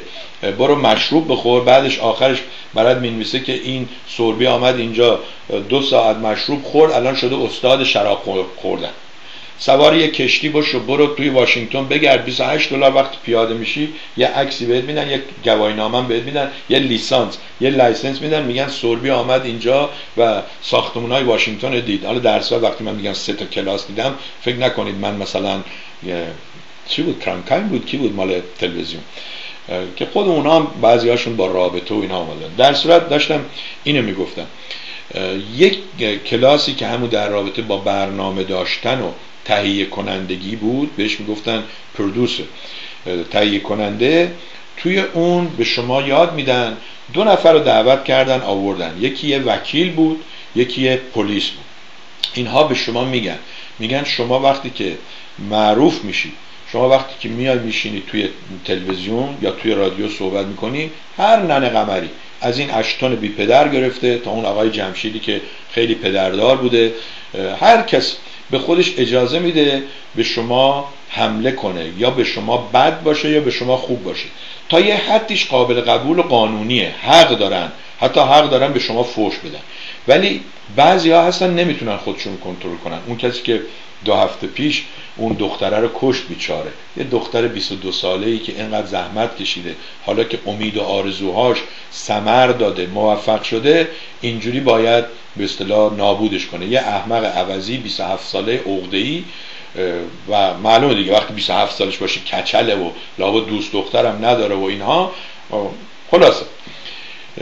به ما اون پلیسه و این وکیله نصیحت می‌کرد که اولا اگه کسی مزاحمتون میشه اگر فکر می‌کنید که این آدم حسن نیت داره سلام پیام می‌ذاره شما پیامش رو برگردید ولی اگه دیدید می‌خواد مزاحمتون بشه شما بهش جواب ندید.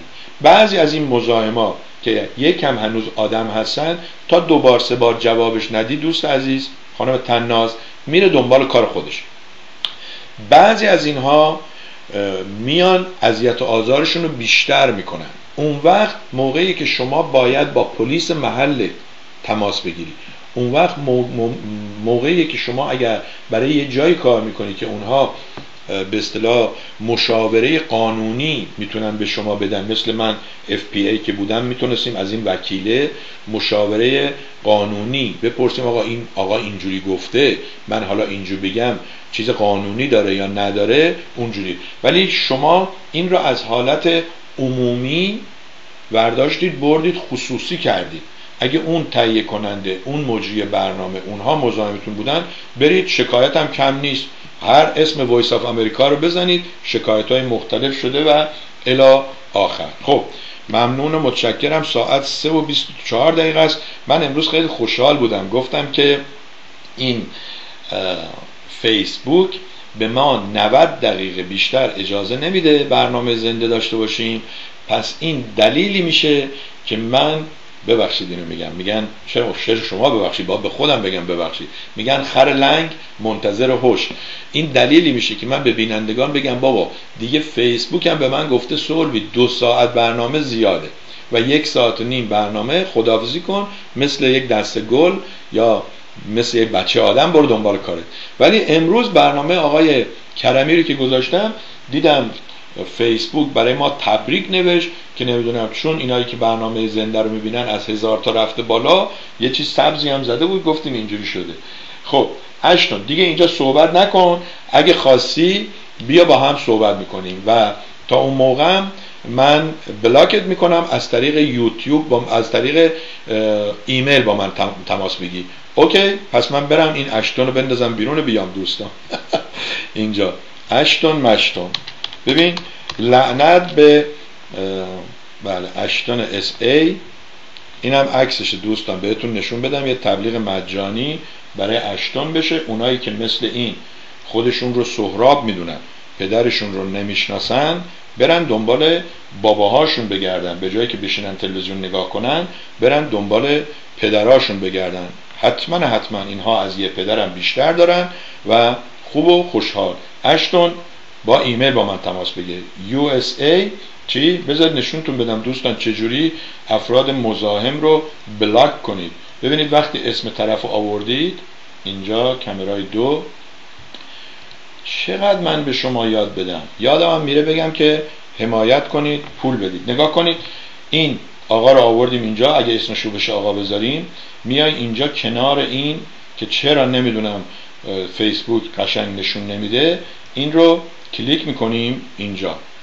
کلیک می‌کنیم. بعد می‌نویسه block. block می‌کنیم این هم رفت به صفحه اون آشغالای دیگه. و برو.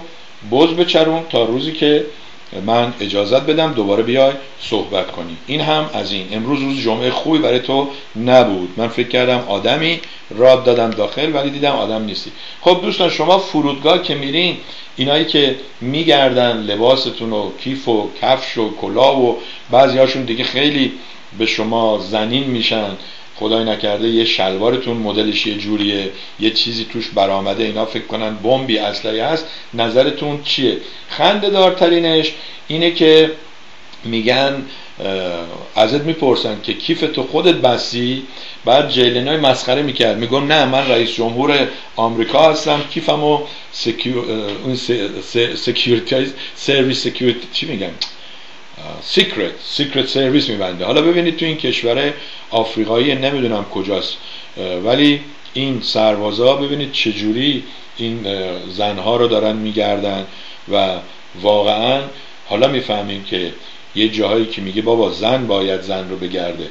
البته این روزا والا این مسئله لزبیان و هم جنس باز بودن و هم جنس گرا بودن و اینها هم معلوم نیست کی به کیه. و این عکس ها رو یک دوستی برای من فرستاده. منم براتون نشون میدم که ببینید این سوء استفاده ها و همش از دیکتاتوری dictatorship ی میاد که اینها به خودشون اجازه میدن مردم رو اینجوری حقیر کنن و پایین بیارن. اینم از این. اشتون اگر ایمیل من رو نمی‌دونم هنوز هست یا چون block شده نمی‌تونه بشنوه. ایمیل من هست usa.sorbi at gmail.com فکر کنم آسون ترین ایمیلی که تونستم پیدا کردم. USA که آمریکا است نقطم گذاشتیم که با فامیلمون قاطی نشه. سوربی هم S O R B I مثل آقای محیط هم دوتا ای نگذاشتیم. هنوز دادگاه مادگاه نرفتیم و این هم از این. هستی. خب خوشحالم که هستی. برو یکم به این کار زشتت فکر کن که من چون وایستادم اینجا دارم صحبت می‌کنم دوست عزیز دوست جوان قرار نیست که شما که نشستی تو جلسه من اگه پشتم رو می‌کنم به اون طرف شما سیوی که خوردی نصفشو بزنی تو سر من. شما مثل آدم می‌تونی بیای بگی آقا این شاهنامه خیلی از ایرانیا فکر می‌کنن که این حقیقی تاریخشونه و بهش افتخار می‌کنن. و من مایلم در این مورد صحبت کنم تا منم اون موقع بفهمم. تو آدمی انسانی بهت احترام بذارم در این موقع مورد بیشتر با هم صحبت کنیم. و از اینکه انداختمت بیرون متاسف نیستم ما بعضی وقتا باید این کار رو انجام بدیم تا بتونیم کنترل اینجا رو به دست داشته باشیم. اگر کنترل نکنیم که ببخشید اینو میگم.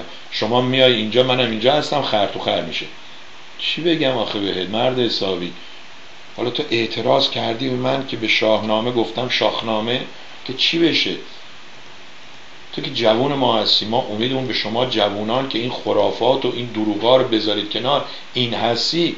من از این پیر پاتالای از خودم پیرتر چه انتظار داشتم؟ اوکی. If we simply require gun owners to carry liability insurance می‌دونید که اینایی که اسلحه دارن شما اگه سگ داشته باشی تو آمریکا وقتی خونه می‌خری یا خونه اجاره داری می‌خوای بیمه بخری بهت میگه سگم داری؟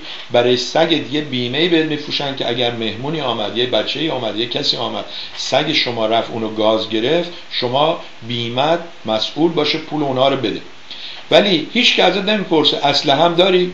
ازت می‌پرسن که شیر آتش نشانی نزدیک خونت هست؟ بر اساس اون بهت تخفیف میدن. ولی هیچ که ازت نمی‌پرسه آقا شما چند تا اسلحه داری؟ اسلحات اتوماتیکن یا نیستن. حالا یه گروهی که هر گروهی بوده فکر خوبی داشته میگه اگر شروع کنیم ما بخوایم که اینهایی که اسلحه دارن بیمه بخرن چون یه مسئولیتی با خودش داره اون وقت شرکت های بیمه چنان بلایی به سر این کارخونه های اسلحه سازی میان میارن که می‌بینید اون وقت این زیر نوشته The Insurance Industry. Industry یعنی مثل حالا یا صنعت اینشورنس یا هر چی اسم بذاری. Would destroy the gun industry. میگه که این صنعت بیمه یا بیمه های بزرگ میاد پدر این کارخونه های بزرگ اسلحه سازی رو میسوزونه. این هم از این. خب حالا یه چیز دیگه هم باید یاد بگیرم اشتون اگه بلدی کارهای کامپیوتر و اینا به من یاد بده. خب اگه ما شما رو بلاک کردیم شما هنوز اینجا هستی یعنی از شرت نتونستیم. حالا اشتون میگی من من این سوربی رو دوست داشتم. چرا اینجوری افتاده به جون من امروز؟ نمی‌دونم. خب شما خودت چی می‌کنی دیگه؟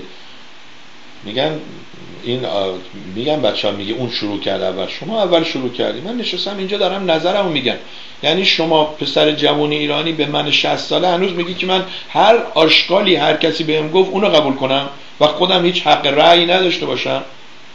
طرف اومده همشهری من اسم من رو نوشته سهراب. به من میگه سهرابی. میگم آقا من سهراب نیستم سهرابی نیستم. من سربی هستم شیرازم سروبی هستم. بعد یه چیزی هم حالا به عنوان مزاح نظرمون گفتیم که یه کسی مثل شما به فکر بیفته بره بگه آقا این روزا طرف بچه دار میشه چون رفته دیسکو خبر نداره. به بعضی از این دوستان میگیم چند تا بچه داری؟ میگه اونایی رو که می‌دونم. و بابت بزرگ شدنشون من با بردن دادگاه و پول دادم مثلا چهار تا 6 تا.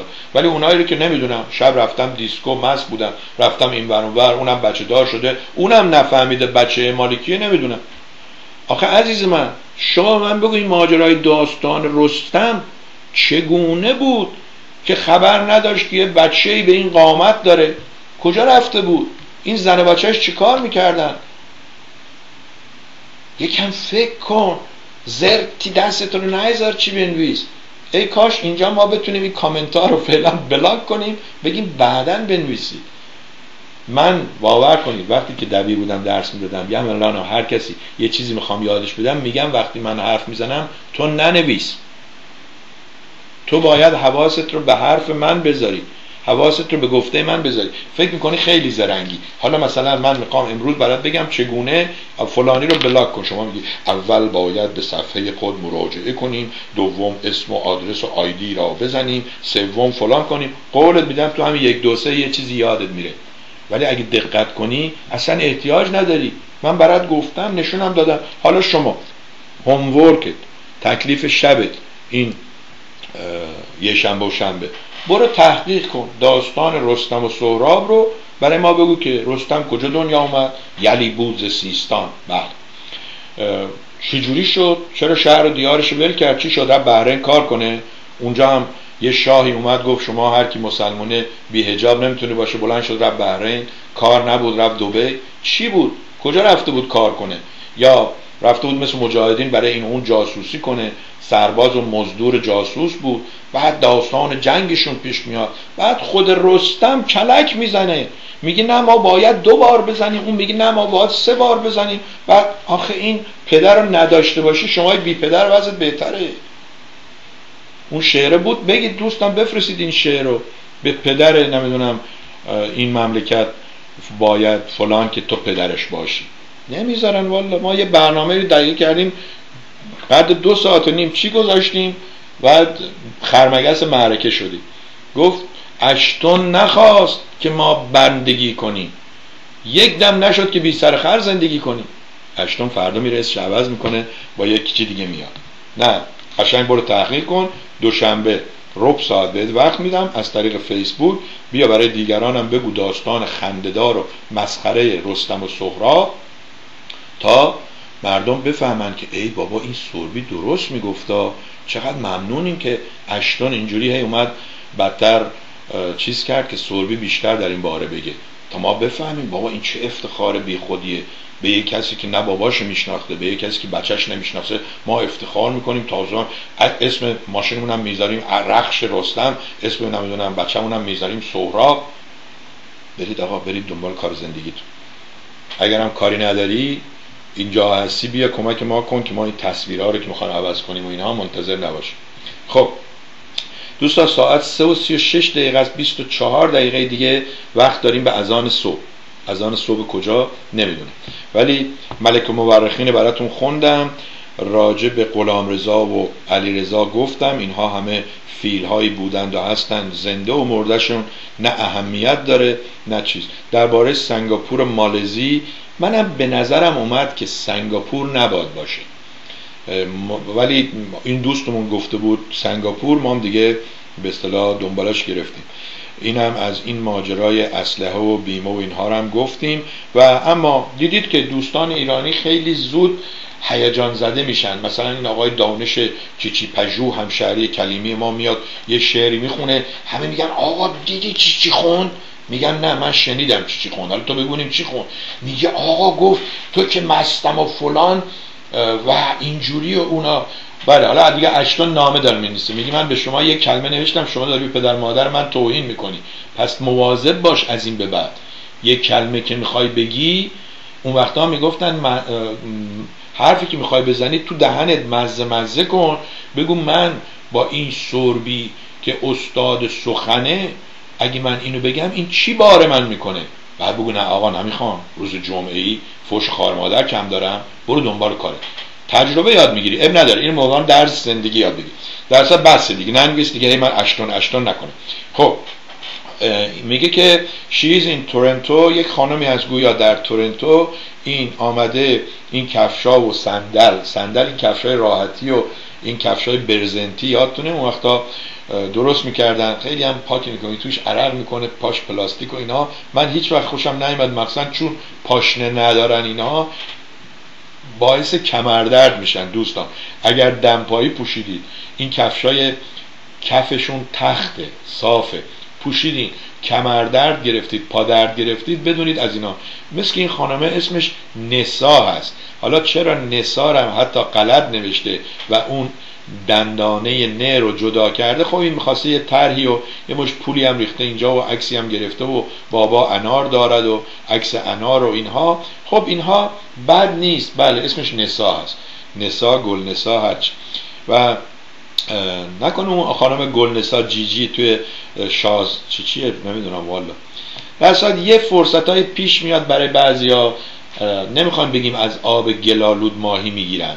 ولی یادتونه مثلا اینجا آقای اویسی مردم رو دید عاشق و کشته و هلاک چیز شدن آمد یه مشتی شالگردن و قاب... چی چی عکس و اینها درست کرد روش مینوش مردم هم میخریدن. به اینها نمیشه بگی افراد سودجو یا کسانی که دنبال آب گلالود میگن اینا می‌تونن بگید آدم های باهوشی هستن که شرایط و مکان و زمان رو در نظر می‌گیرن ازش به نحو خودشون استفاده می‌کنن. کاگو جون من که پارسال گفتم خانواده آریان پور که حالت تبعیدی هم داشتن در سه نسل 24 دکتر به جامعه تحویل دادن و اما این خاندان جلیل زلیل پلوی یک دکتر نیمچه که آن هم بدبخت خودکشی کرد. من نمی‌دونم این دکتر منظورتون علیرضا پهلوی بوده؟ علیرضا پهلوی فکر کنم فوق لیسانس گرفت. دکتر نشده بود. و اما بیان براتون یه چند تا عکسم بیا بنشین بگویم داستانی.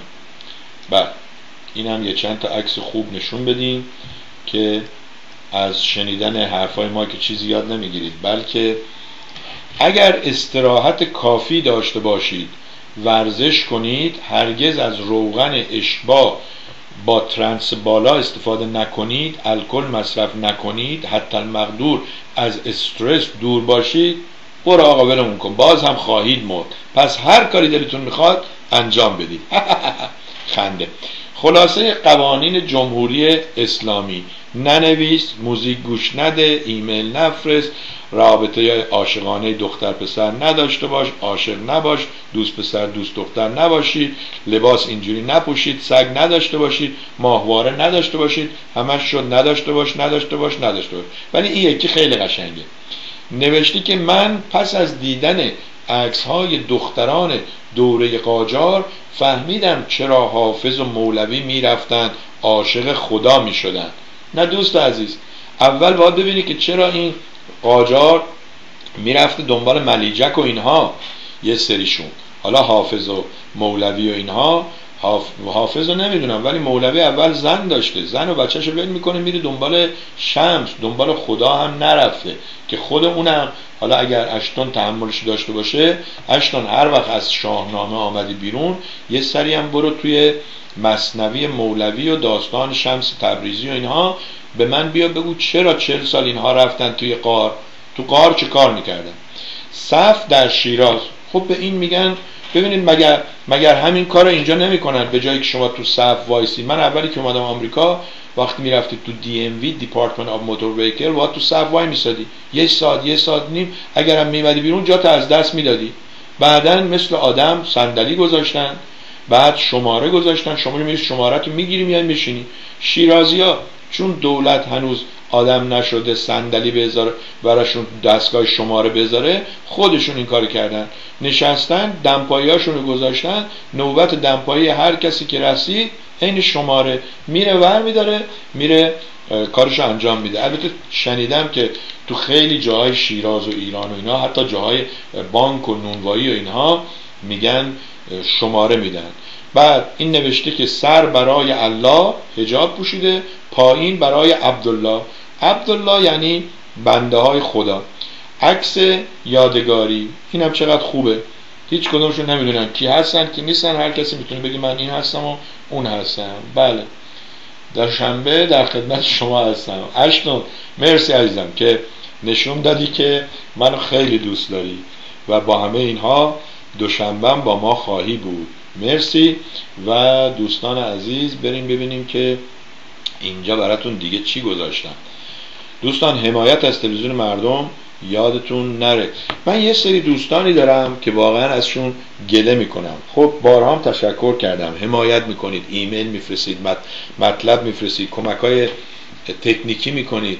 ولی ما زیاران چشم یاری داشتیم. ما از شماها که موافق ما هستید انتظار داریم. اونی که مخالفه اینقدر احمقه که اگه تازه بتونه می‌خواد به من دشمنی هم کنه اون که نمیاد ماهیانه یه چیز بده. شما برای خودتون مثل این آقای حسن خزایی نگاه کنید به بودجهتون لطف کنید یه ماهیانه بذارید و این ماهیانه ها رو ماهیانه پرداخت کنید تا من بتونم مثل اون دوست خوبمون که نوشته بود من 200 دلار برای ماه آینده و ماه بعدی فرستادم روش حساب کنم. بدونم آقا 100 دلار این میده 30 دلار این میده 20 دلار اون میده 200 دلار اون میده 500 دلار اون میده و ما یه کمی خیالمون راحت بشه که اگه یه جوانی مثل اشتون آمد یه چیزی بالاتر از یا ظریفتر از نازکتر از بلگ گل گفت اینجوری نپریم مچ پاش رو بگیریم. خب اشتون جان برو دنبال کارت هم. یه دوستی داشتیم آقای محسن لایق. اون موقع توی شیراز و توی انستیتو و اینها مد بود همه سیبیل گذاشته بودیم اینجوری. این محسن هم خیلی سیبیل های خوشگلی داشت. هر وقت یکی می‌دید اینجوری می‌کرد می‌گفت که برو, برو داداش دنبال کارتم. حالا منم دنبال کارتم. سنی ازت گذشته زشته خب اینو برای اشتون باید بخونم. زبان حال اشتون به من. این جمله رو بارها و بارها از زبان دیگران بذار برای اینجوری نشون بدم که دوستان توی فیسبوک هم این قابل خوندن هست یا خیلی ریزه. سنی ازت گذشته. این جمله را بارها و بارها از زبان دیگران در مورد اطرافیان یا خودمون شنیدیم یا اینکه خودمون به دیگران گفتیم. توی تمام جوامع از سن به عنوان یک معیار عددی استفاده میشه. در واقع سن فقط یک عدد محسوب میشه و بالا رفتن سن جرم و نقص نیست و مانع از لذت بردن از لحظات زندگی نمیشه. و معتقد هستند که آدمی تا زمانی که نفس می‌کشه باید به بهترین وجه ممکن زندگی کنه. و ضمن رعایت اخلاق و اصول انسانی باید نعمتهای خدا را شکر بگه و هر کار و چیزی که خوشحالش می‌کنه رو می‌تونه انجام بده. در واقع گذر زمان رو اینگونه ترجمه می‌کنن. ما در جوانی تجربه چگونه زندگی کردن کسب می‌کنیم در میان سالی و پیری از آن تجربه ها برای بهتر و شادتر زیستن استفاده می‌کنیم. اما در ایران و کشورهای جهان سوم سن از سی سال که فراتر رفت دیگه کم کم واسه هر کاری سنی ازت گذشته و زشته در واقع به نحوی باید فقط نفس بکشی و در گذشته و یا خاطرات گذشته زندگی کنی تا بمیری و به تعبیری در جوانی تجربه به دست می و با خود آن تجربه را به گور می‌بری. طرف دوست داره لباس رنگ شاد بپوشه. وای سنی ازت گذشته این چه رنگیه؟ ماشین اسپورت دلش می‌خواد. این واسه جووناست. تنهاست دلش می‌خواد ازدواج کنه یا با یکی هم صحبت بشه. دیگه این کارا از تو گذشته توی این سن. دلش سفر تفریحی می‌خواد. وای تو دیگه حالا فکر آخرتت باش. دوست داره ادامه تحصیل بده. وای برای چی دیگه می‌خوای درس بخونی؟ هزاران دلخواسته های دیگر که در حد یک آرزو باقی میمانه میمونه تا مبادا زشت باشه. اینجوریه که توی مملکت ما توریست خارجی می‌بینیم که سن اجداد ما رو داره ولی با لباس اسپورت و تیپ جوونا زده بیرون. اینکه نگران تفاوت سنش با دیگران باشه و داره از لحاظ زندگی استفاده می‌کنه استفاده مفید می‌کنه. نه اینکه خب یکم جمله ها پریده. نه اینکه نگران سنش باشه. تو هر سنی ازدواج می‌کنن و لباس عروسی میپوشن. دوستانشون همه گروه سنی هستند و عیب نیست. ملاک دوستی و ازدواج تفاهم و احساس آرامش است نه سن و سال. ولی اینجا پرسیدن پرسیدن سن فوش و پاسخ دادن به آن ابزار شکنجه محسوب میشه. بیایید ما, ما هم نگرش خودمون رو عوض کنیم. این زندگی رو دو بار به هیچ کس نمیدن. پس اگر از ته دل کاری رو دوست دارید انجام بدید. نگران سن و سالت نباش. تا زمانی که نفس می‌کشی دیر نیست و زشت نیست. زشت اینه که عمری رو عمری رو زشت طی کنی. اسم شیراز اومد جناب سوروی در مورد شیراز کمی صحبت کنید. ممنون میشم.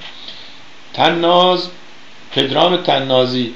کاکو گلوم قرار بود شما بیاید درباره شیراز و شیرازی ها صحبت کنی. من که سی سال از شیراز اومدم بیرون هر چیزی هم داشته از یادمون رفته. ولی برای اینکه از دل اشتون در بیارم نوشته که من یه جمله برای شما نوشتم. شما توهین کردی به پدر خانواده من. آخه مرد حسابی. شما به یه نفر میگی وطن فروش به یه نفر میگی خائن. اون وقت شما فکر می‌کنی این توهین نیست؟ ولی من که بهت گفتم برو بابات پیدا کن که مثل سهراب بی پدر نباشی بهت توهین شده. آخه چرا متوجه نیستی؟ دوست عزیز من دوست جوان من.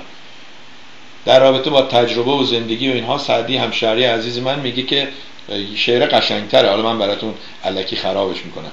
در میگه که زندگی دو بار باید کرد با یکی تجربه آموختن با دیگری تجربه بردن به کار. خب این کار رو به نظر این دوستمون آقای شاهین میگویا. نوشته بود خارجی انجام میدن به جایی که دو بار زندگی کنن نصف عمرشون یا یه سوم عمرشون سی سال تجربه میآموزن اون 60 70 سال دیگه اون تجربه رو به کار بره و اما پدرام تنازی گفته از شیراز بعد از برنامه خودم می‌خواستم به این ترتیب ادامه بدم. اینجا نوشته بودم برنامه آوا رو دیدیم. سوربی رو دیدیم. بریم سراغ رادیو کیان ایران. آقای یزدان خداوندلو بعدش بعدش آقای مینوی شبستری و برنامه چهل و هشت دقیقه یا چهل دقیقه شعر شیراز از دم و نفس و صدای گرم یدالله تارمی رو تقدیم می‌کنم به همتون توی این ویکند استفاده کنید لذت ببرید. ضمنا امروز برنامه بعد از ظهر رادیو کیان ایران رو من نتونستم ضبط کنم یعنی نداشتن برام نفرستادن. و خود این دلیلی میشه که من یه فرصتی داشته باشم تا برنامه آدین شب رادیو کیان ایران رو که از سوئد ببینید ایشون رادیو خودشو داره پخش می‌کنه ولی انقدر سمارت هست که اومده این ور دنیا با یه هزینه بسیار کمی چون این برنامه ها زنده نیست. مزاحم وقت من نمیشه با یه هزینه بسیار کمی هر روز دو ساعت سه ساعت در تلویزیون مردم برنامه داره. حالا ببینم این اشتون این پدرام تنازی این جوون ها اینقدر زبل هستن چهار تاشون با هم بیان یه برنامه بذارن بشینن جوون ها صحبت کنن. بگن آقا مردیم از دست این سربی. این پیره پاتاله. این به سهراب توهین کرده بره پشت دوربین بره اون و اصلا بره بیرون. نمی‌کنن. همه مفتخور شدن همه آماده خور شدن همه تنبل شدن. امیدوارم این دوتا جاش نباشه. پس اینو تقدیم می‌کنم بهتون ولی بذارید یه کمی دیگه ده دقیقه وقت دارم. دلم نمیاد این پرونده ها همینجوری هی پر هر روز میریم و میایم و باقی میمونه. کفش های زیبایی زیبای برند ایرانی نسا. و اما اون مسیج دوستمون رو هم خوندیم که خانواده آریانپور 24 سال دکتر تحویل داده و این کارتون در روز یعنی فردا انتشار میاد. آها اینا رو دیگه دیدیم مال دفعه قبل بود. یه اشکالی که من دارم اینه که وقتی که یه سری چی میمونه از پرونده برنامه زنده چیزهای جدیدی که میاد روش میرم می‌رسم به اونهایی که خوندن. ضمن که اگه برم پایینتر اونها هست. قدیما خوب بود. قدیما شما این کاغذها رو که هی میذاشتی بعد میومدی می‌گفتی خب اینو خوندم دیگه مینداختیش دور. حالا این کامپیوتر باید یه ترتیبی براش بدم که این کار رو بتونم انجام بدم. همه کاری رو با کامپیوتر می‌تونید انجام بدید. اگر بلد باشید برنامهش رو بنویسید یا استفاده صحیح ازش بدونید. دوستان شما هم می‌تونید برنامه های زنده داشته باشید. از فیسبوک با تو با یه تلفن با یه آیپد برنامه پخش کنید. می‌بینید الان من از فیسبوک دارم برنامه پخش می‌کنم. از این دستگاه نمی‌دونم کروماکی و اینها هم استفاده می‌کنم. این بستگی به وسایل امکاناتتون داره. اگه خودتون بلدید خب برید استفاده کنید. اگه بلد نیستید می‌خواین من یادتون بدم ما 100 دلار می‌گیریم یادتون میدیم یکی دو بارم برنامهتون رو تو تلویزیون مردم پخش می‌کنیم. به اندازه اون 100 دلار که پولی برای فیسبوک به ما نداده باشید. چون خیلی ها میگن آقا خب ما که اینو بلدیم. میگم خب برو راه بنده می خب کس نمیاد منو ببینه. میگم خب برای که من آدرس خونتو بدم باید کاغذ چاپ کنی. پول می‌خواد. دوستان یه مقداری از پول بگذارید میگه ان کسی که از پول گذشت از پل گذشت. دیگه نمی‌دونم به شما به چه زبونی بگم. می‌دونم همتون شب که میخوابین مثل من اینجوری خور پف می‌کنین. پول. پول. خب دوستانی که امکانات مالی دارن لطف کنن. من بهتون گفتم من 18 ساله دارم این کار انجام میدم. از سال 2003 تا حالا تلویزیونی رو باز کردیم که گفتیم این تلویزیون با حمایت مردم با کمک مردم تا امروز من ندیدم یه نفر که فوت می‌کنه مثل آقای دکتر ابوالقاسم سمدانی خانوادهش تماس بگیرن بگن آقا اسم تلویزیون مردم رو گذاشته جزو نمی‌دونم استیتش جزو میراث و فلان و گفته 100 دلار به اینا بدی. به هم تماس می‌گیرن میگن ایشون فوت شده لطفا بگو مرک... چیز ختمش کیه. میگن بابا ایشون که تو زمان زندهشم به ما پولی نداده. حالا وقتی هم مرد هنوز می‌خواد مفتخوری کنه. دوستان تا زنده هستید مفتخور نباشید. باور کنید اگه مفتخور نباشید وقتی هم مردید مفتخور نیستید. چی بگم دیگه بهتون؟ خب. اشتان جان امیدوارم از من ناراحت نشید. میگن دوست بهت میگه. دشمن اونیه که میگه می‌خواستم بهت بگم. یا دشمن مثل سعدی شیرازی میگه از ما نخورده باشی. تا بری به یک کسی توهین کنی که اون به جای اینکه عصبانیتش رو با دو کلمه حرف حساب بهت بزنه یه دفعه خدای نکرده توی جمعی آبروتو ببره یا یه توهین و تهدیدی کنه که جبران ناپذیر باشه.